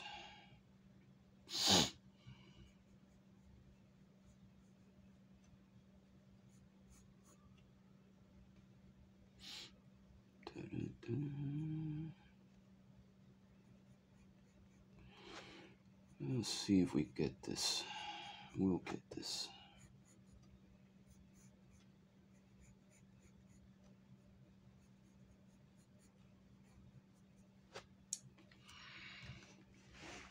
So always remember that when you're doing this angle, you have to do the, the lines curving upward. All right, so let's try this one out. and while we're at it, we can finish this guy a little bit.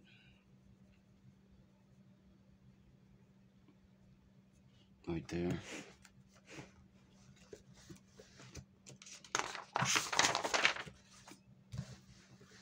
Okay, so let's do this one right here. So, let me see.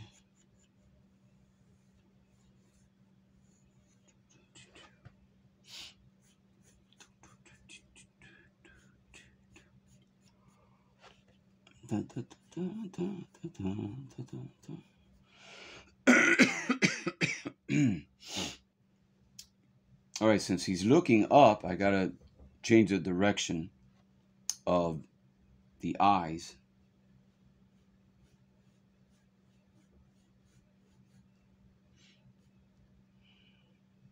the mouth. And the nose is sort of pointing up. This will be the bottom of the chin.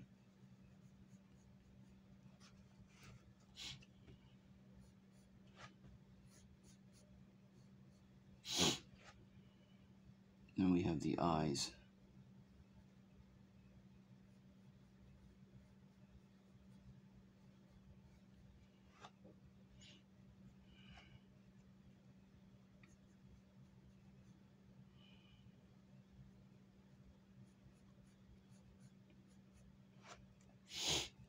The mouth, I'm gonna have to change it a little bit.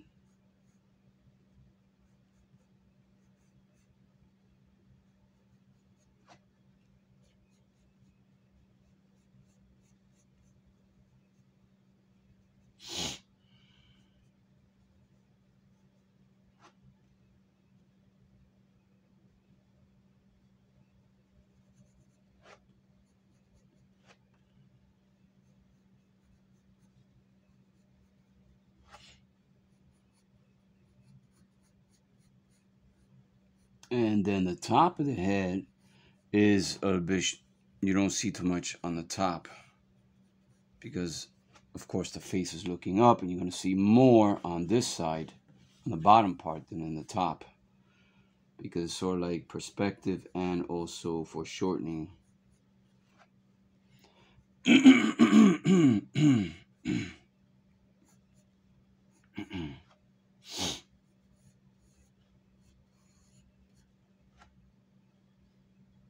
And then the ears kind of fall down a little bit downward. Remember, when the face is looking up, the ears are going to actually fall down more, closer to the where the mouth is. And a little bit lower from where the eyes are.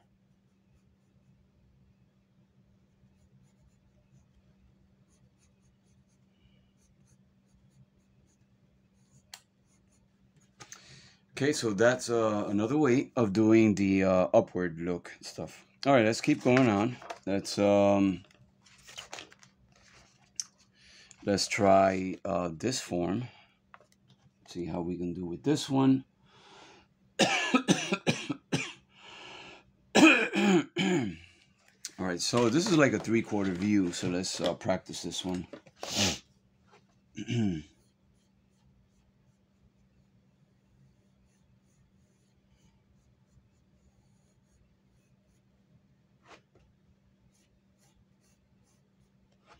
This will be the jaw.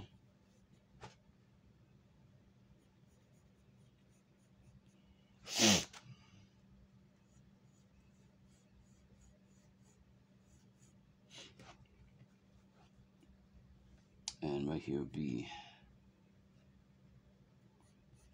the side plane of the head. So I can do the nose. And do a hint of the eyes. Like that. And then the mouth. Like that.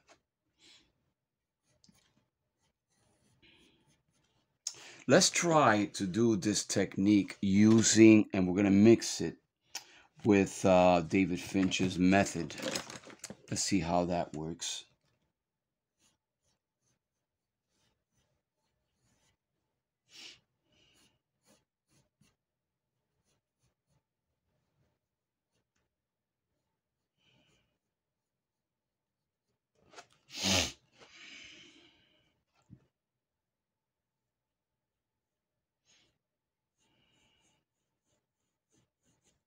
It's always good to try something new. Yeah. All right, so this will be here.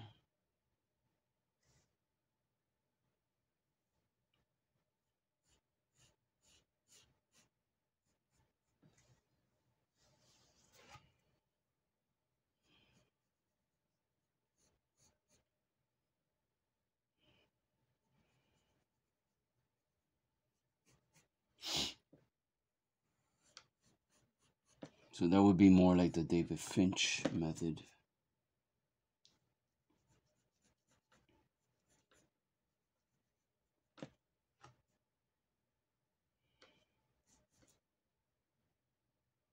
And of course the eye, we'll start the eye here, and then the other eye here.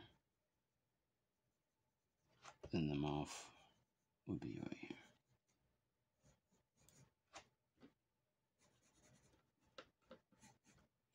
That would be more like the David Finch technique and drawing the uh, three-quarter view.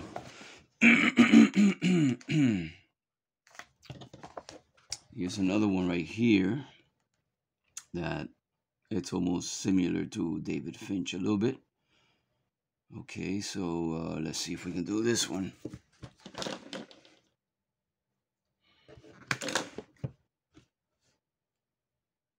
And this one kind of reminds me of a box shape.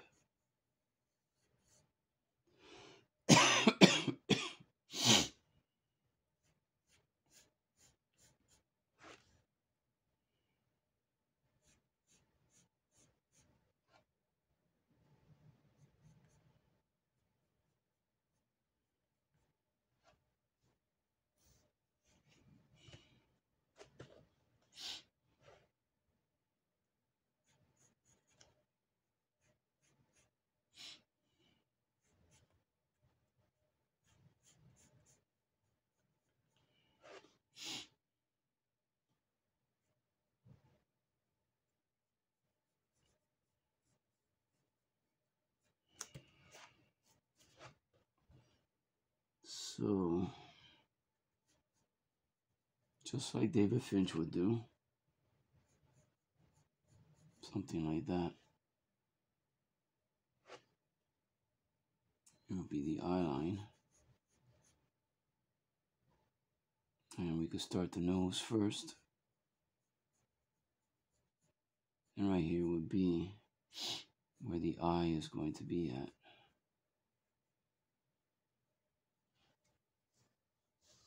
So this actually works out pretty well.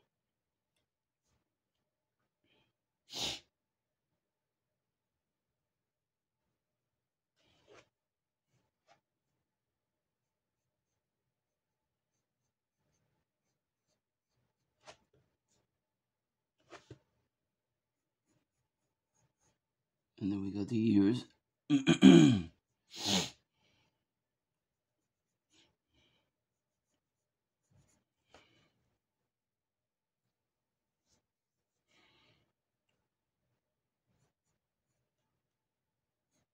neck, back of the neck.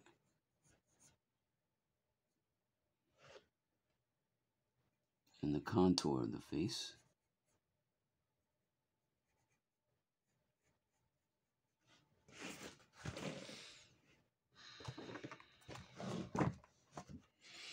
All right, so we have an idea how that's done. Okay, so we can try this one without the planes Notice that he uses the plane over here, and then he doesn't use the plane on this side of the head.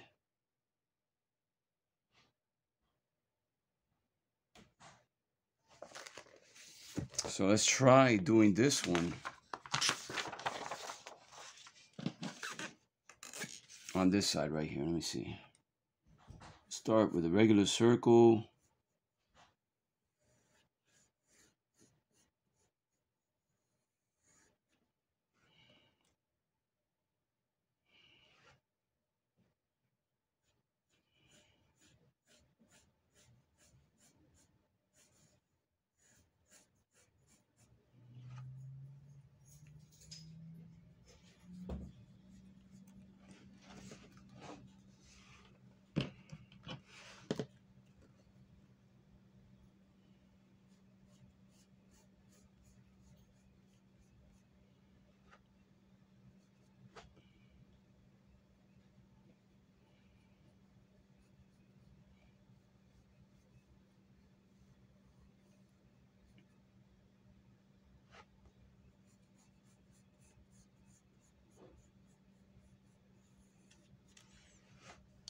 This will be the eye line.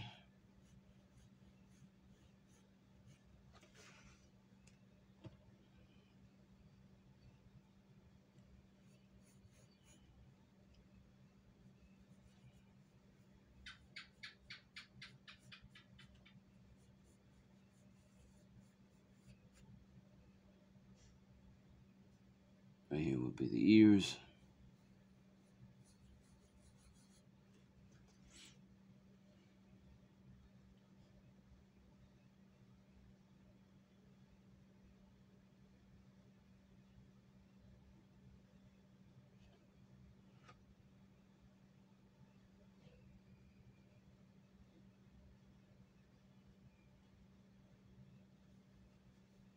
And this will be the plane on this side of the face right here.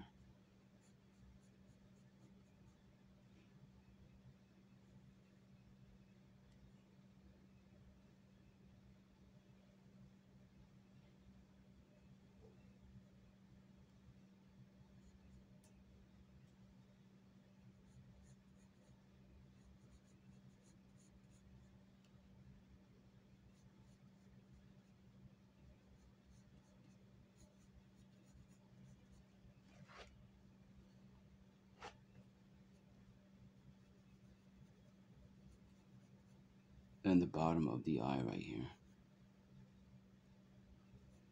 Then the mouth.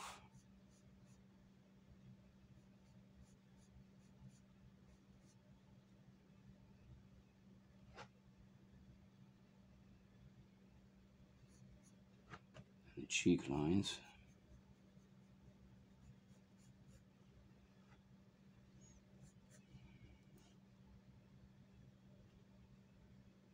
We'll finish this part of the eye right here.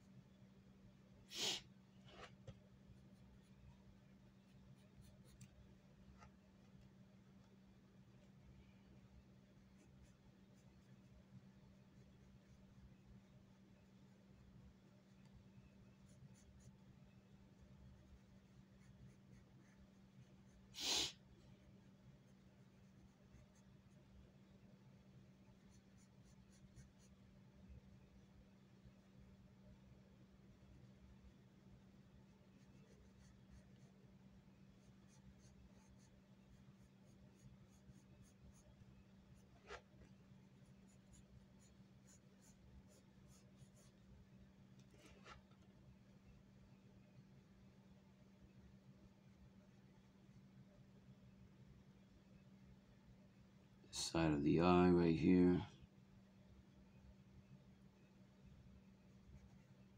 And the cheek lines on this side.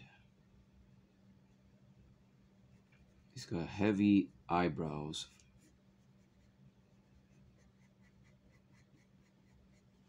Also on this side, he's got heavy eyebrows also. Big eyebrows.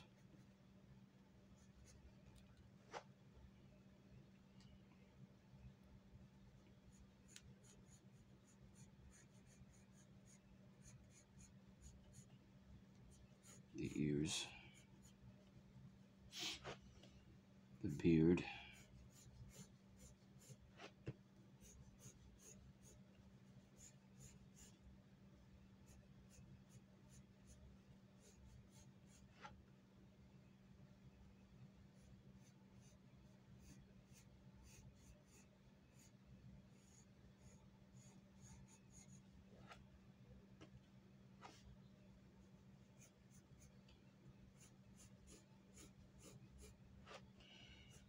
and bottom of the hair.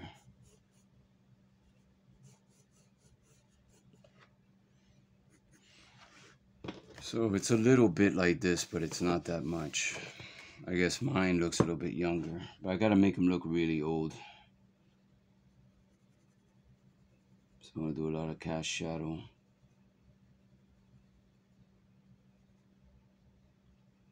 This side a little bit darker.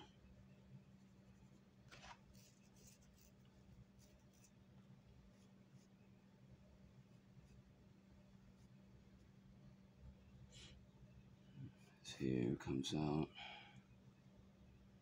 There's a lot of rhythm on this side of his hair. Well, this side of the face, of course. I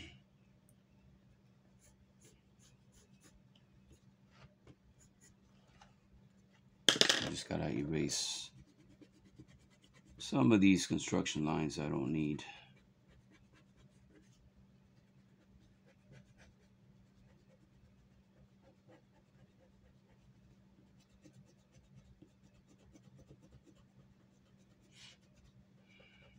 Erase this part right here and erase this.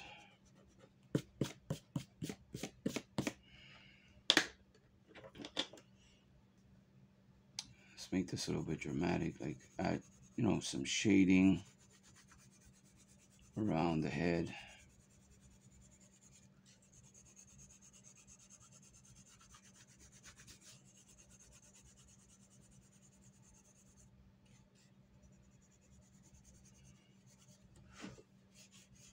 Underneath the hair is dark.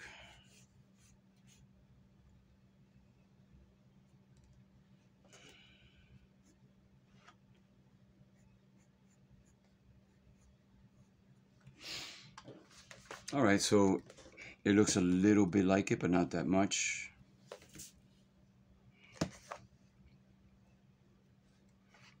Let's try it. Now let's do the figure drawing. And uh, like I've shown you before, this is sort of like the proportions of the figure. And then we got options over here. Different options how to draw the figure. Constructing the figure. Did you ever draw one figure beautifully, then miss the mark entirely on the next one you drew? Chances are both were accidents and results of drawing a figure without first constructing it. I cannot stress enough the uh, importance of developing the basic figure construction process that allows you to attain consistency. Consistency, sorry. Okay, so we have here block shapes. And notice that the block shapes are transformed. And from the block shapes, he starts fleshing it out. So let's do it this way to see how it works. So we need another page. Start this one.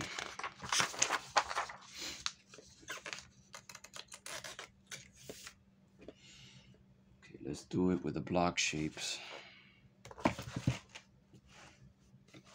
See how that works.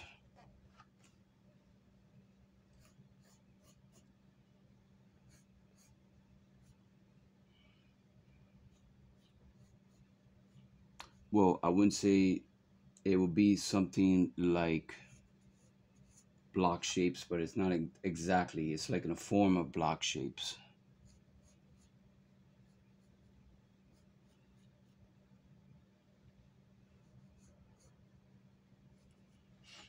This here is the balance line.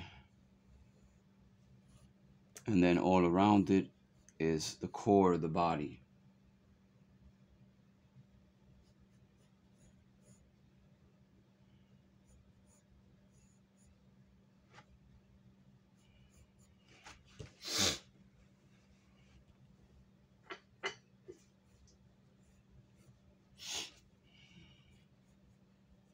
So that's what he did over here, see? Let's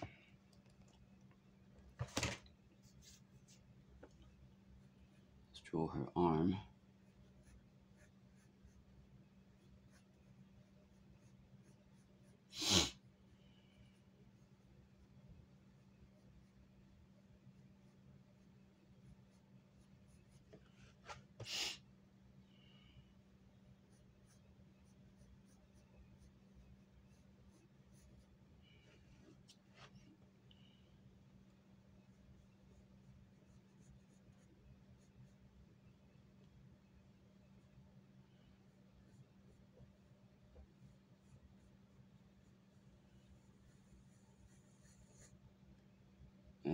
Shape.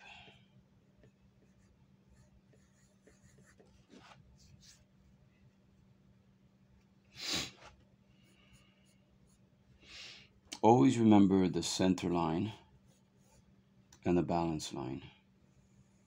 And I've shown you guys uh, many times that the balance line is very important. Now we can continue in doing the breast.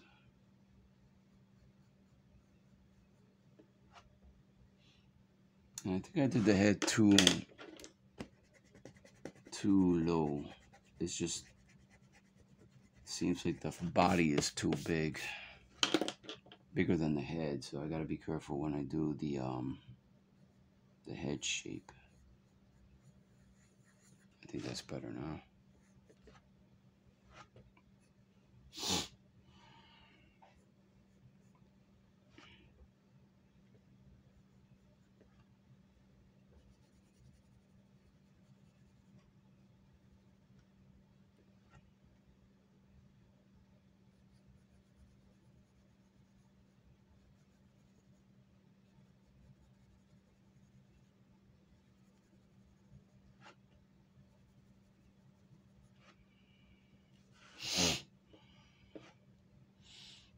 So now I could give her a little bit more of a shape.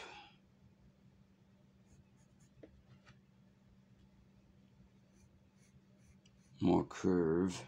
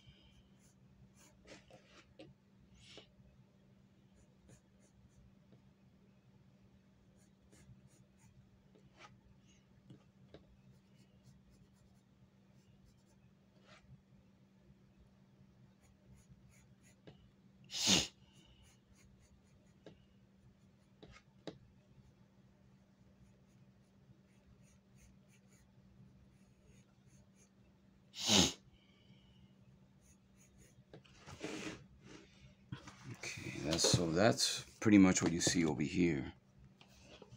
Okay, so let's try a different segment like this one right here. so I'm gonna actually spot out the balance line first. Now I can start working with uh, the shape of the body.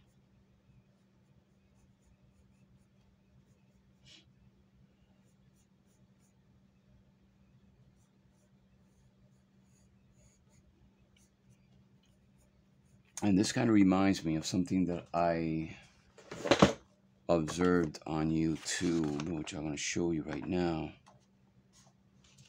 Pretty much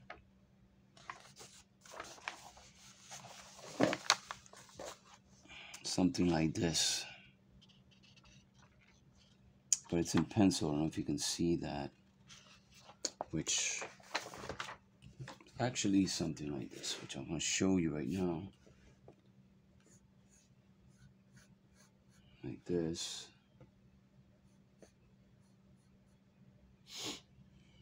Balance line and the shape.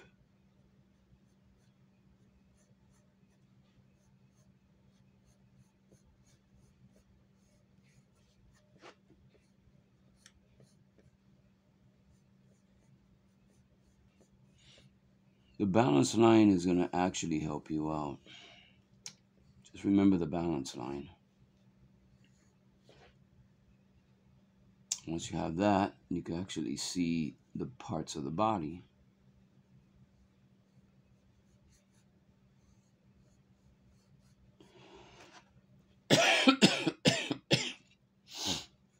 Here's the hip area right here. Goes in the chest, rib cage.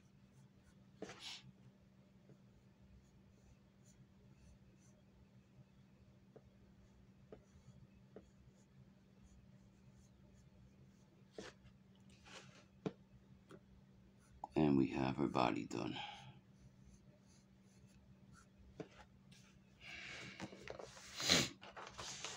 And I think I have which we're going to do this in another video of figure drawing. But that's pretty much how Giordano does his figures. And I think this is where um, Romero actually got the idea of using the balance line with the box shapes.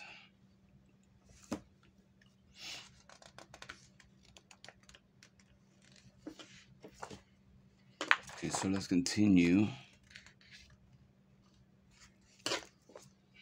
Here's the hands. And let me give you an idea.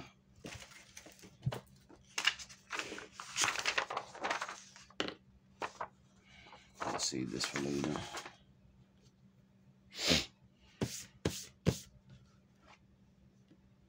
Start out with the center, which is this whole part of the hands right here. And then we're going to scribble in the forms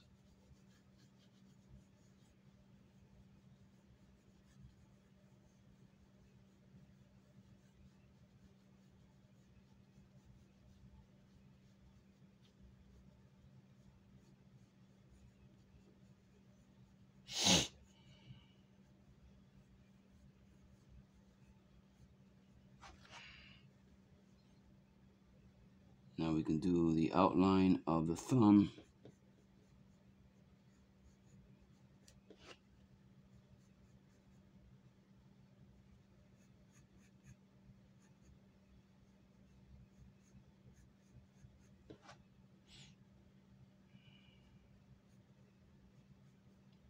The middle finger.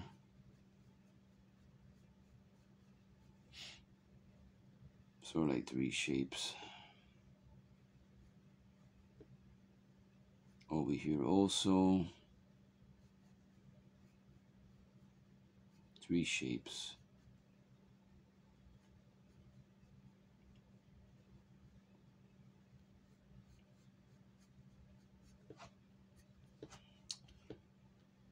So what you're doing is you're forming it into the scribbling and then you're forming the outline of the hand.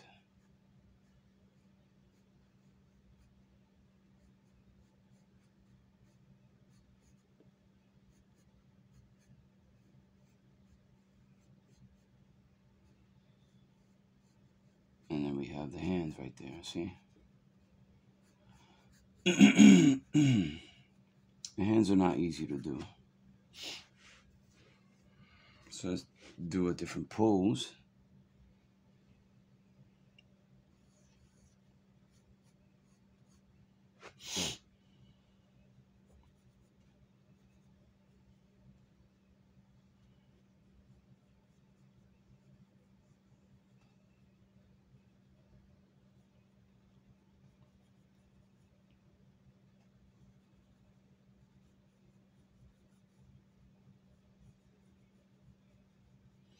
So what I'm doing here is more like scribbling the shape of each finger.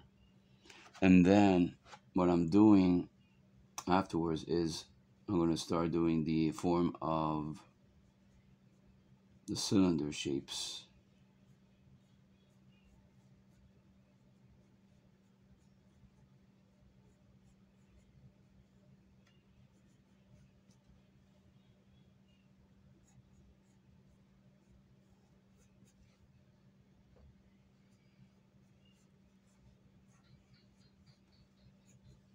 Let me get something more easier to do. Hold on.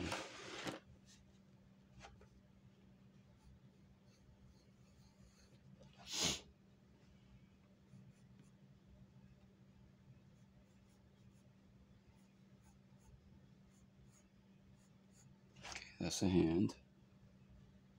Here's the palm of the hand. and I'm just going to scribble in the shape of the fingers.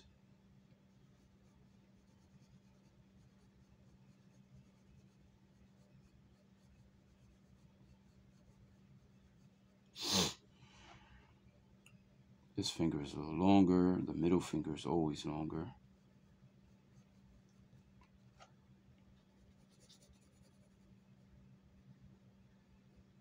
Here's the other,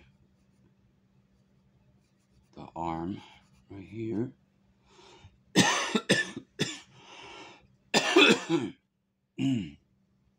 now we can do the uh, cylinder shapes. Notice I'm starting from the bottom and then in the center and then I do sort of like a bullet shape.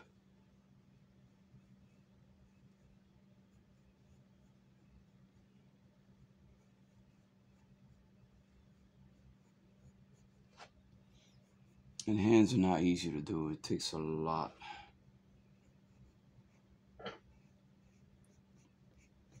to do. It's not easy. It's a real mission to do hands.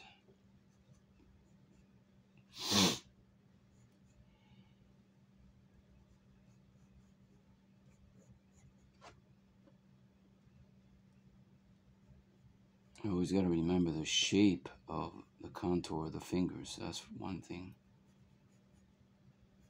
This one is a bit straight and inward is a bit curvy.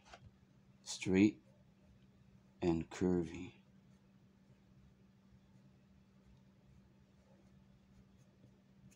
So there you go. Practice by looking at photos of hands on Google. You can always Google images of hands, or you can practice with your own hand.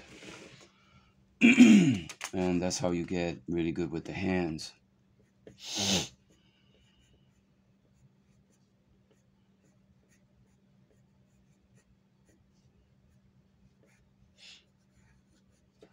All right. Let's work on feet now. And uh, you can see he starts off with, I would say, he, I think he started with the base of the foot first and then he started doing the shape. Now the way I would do this, it would it would be something like this. Um, I'll start with the base of the foot, and then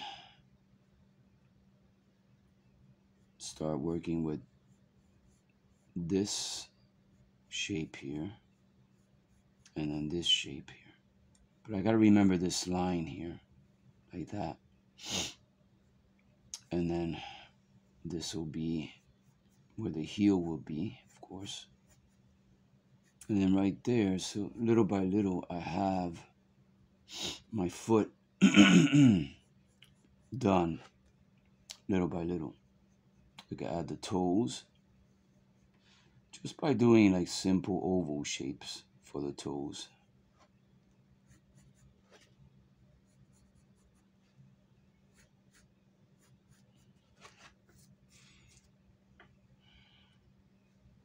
And if I were to do shoes, of course, all I have to do is do an outline for the shoes. You know, it's like I'm doing an outline for the shoes. So let's do this on women's feet.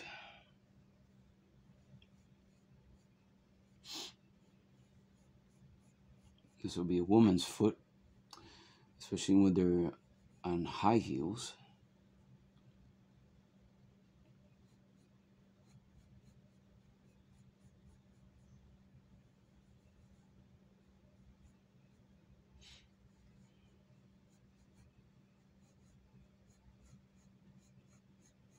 Gotta be careful with this pose, it's not easy. and the high heels. Like that. Like that.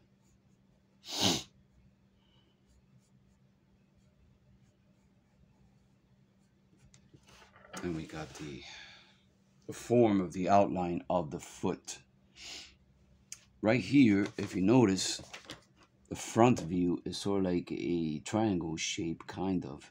So you can do a triangle shape for the front of the nose and a uh, sort of like a, a V shape for the bottom of the foot. This will be the thumb.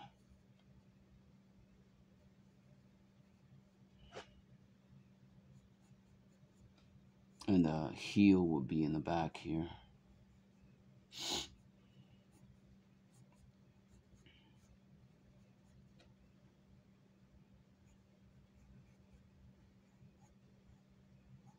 Okay, so we got an idea how that's done. So This is another cool technique right here. I'll show you how this is done. We'll simply do the uh, bottom part of the foot.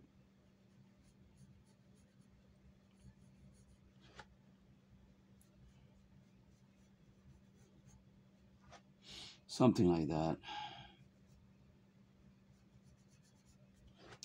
Okay, so once we have that, we'll do the shape underneath the, it's like, sort of like the muscle part of the bottom of the foot. And then the front part. Right here and right here.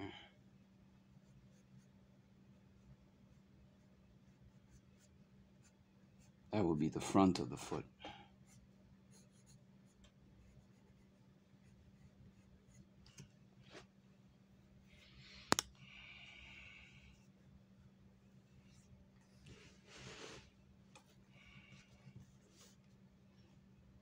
Okay, Let's do another foot for a woman.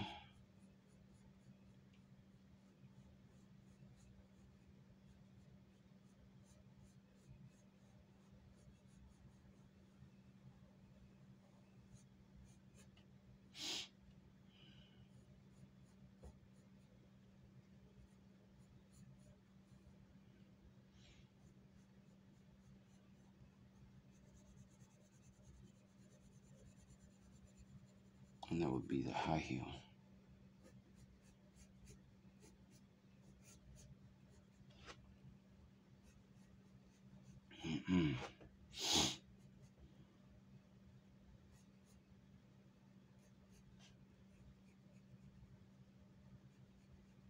We'll give her some shape. Back of the high heel, of course.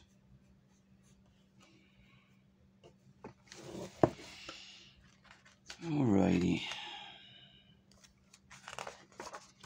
Okay, so we got more poses here. Running, jumping.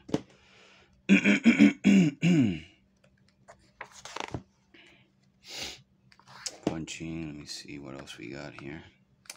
So let's try this one that he said that a friend introduced him to this technique here. And we're probably going to use a different page for this one.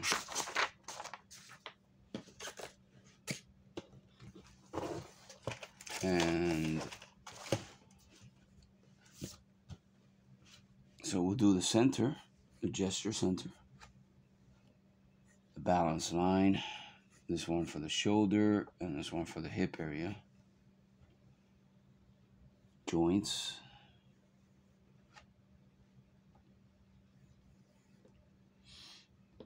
Oh, excuse me. So I'm going to do a different pose here.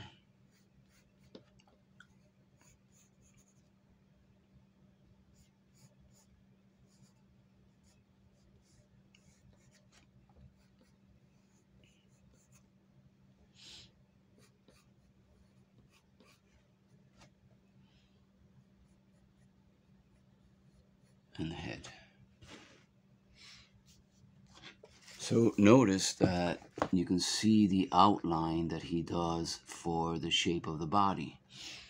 And instead of using cylinder shapes, what he does is the outline. That little by little, your body starts taking form.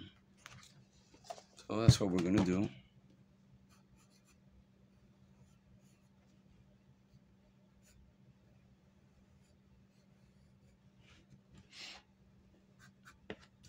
So I'm going to do this. Actually, no, you know what? I'll just keep. Let me see.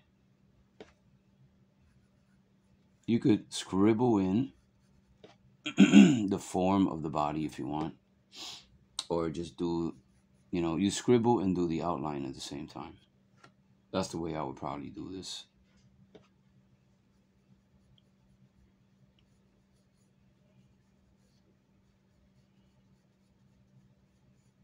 Sort of like if you were seeing the body in your mind. You're doing you're seeing the shape, form. by using this process.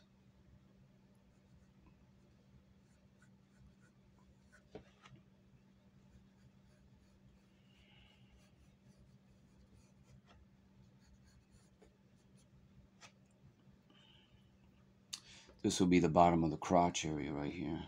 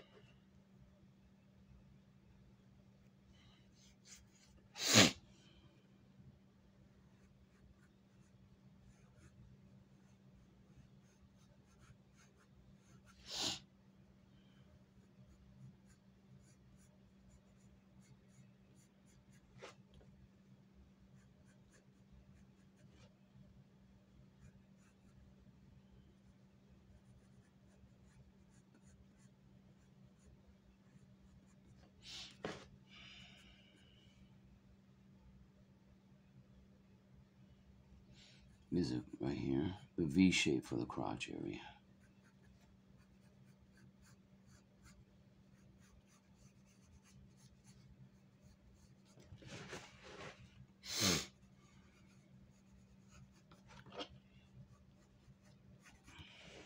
So let's try this one again.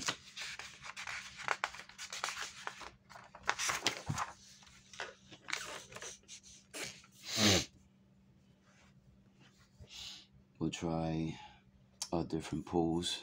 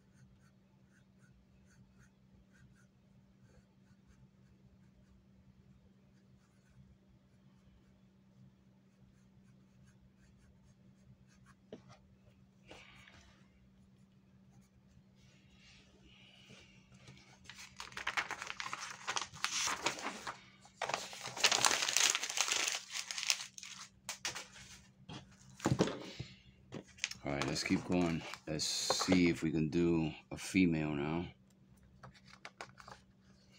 This is another great way of doing foreshortening and perspective on a figure, of course.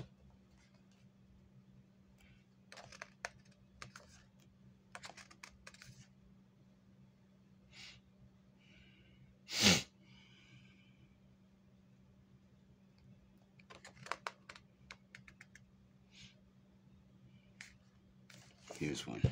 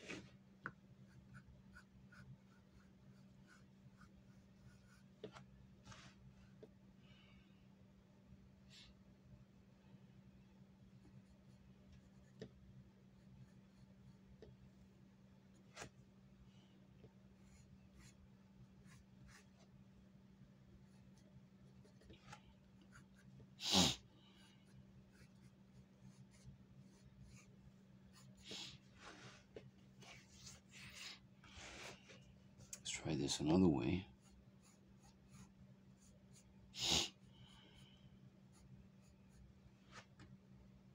Balance line.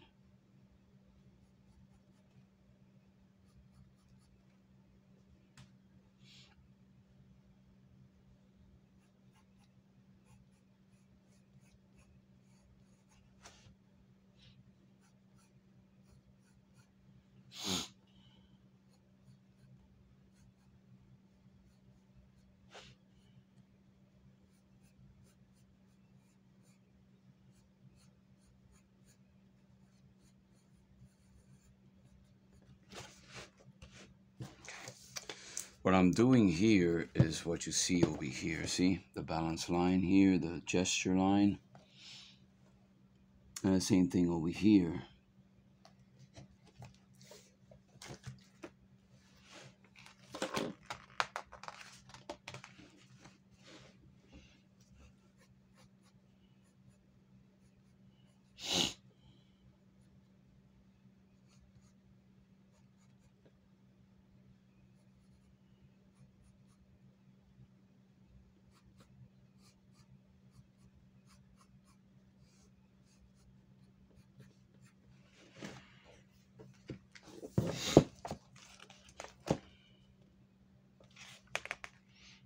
Let's do something else here. Let me see.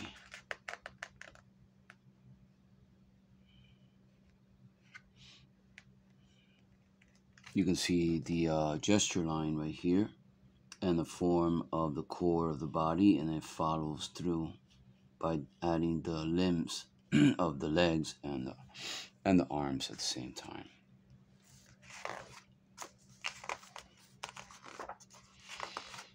All right, guys, I already show you pretty much the rest of this book. And uh, what we, we were doing right now, we were just practicing the techniques. Hopefully you guys, you practice these uh, techniques. These are really good when you're drawing the figure drawing and stuff. And it looks like I'm, my voice is running because uh, since I have a bad cold or something, it's like I'm losing my voice. It's getting worse. So I'm going to see if I can drink some tea and then I'll do another tutorial after this. Thank you for watching.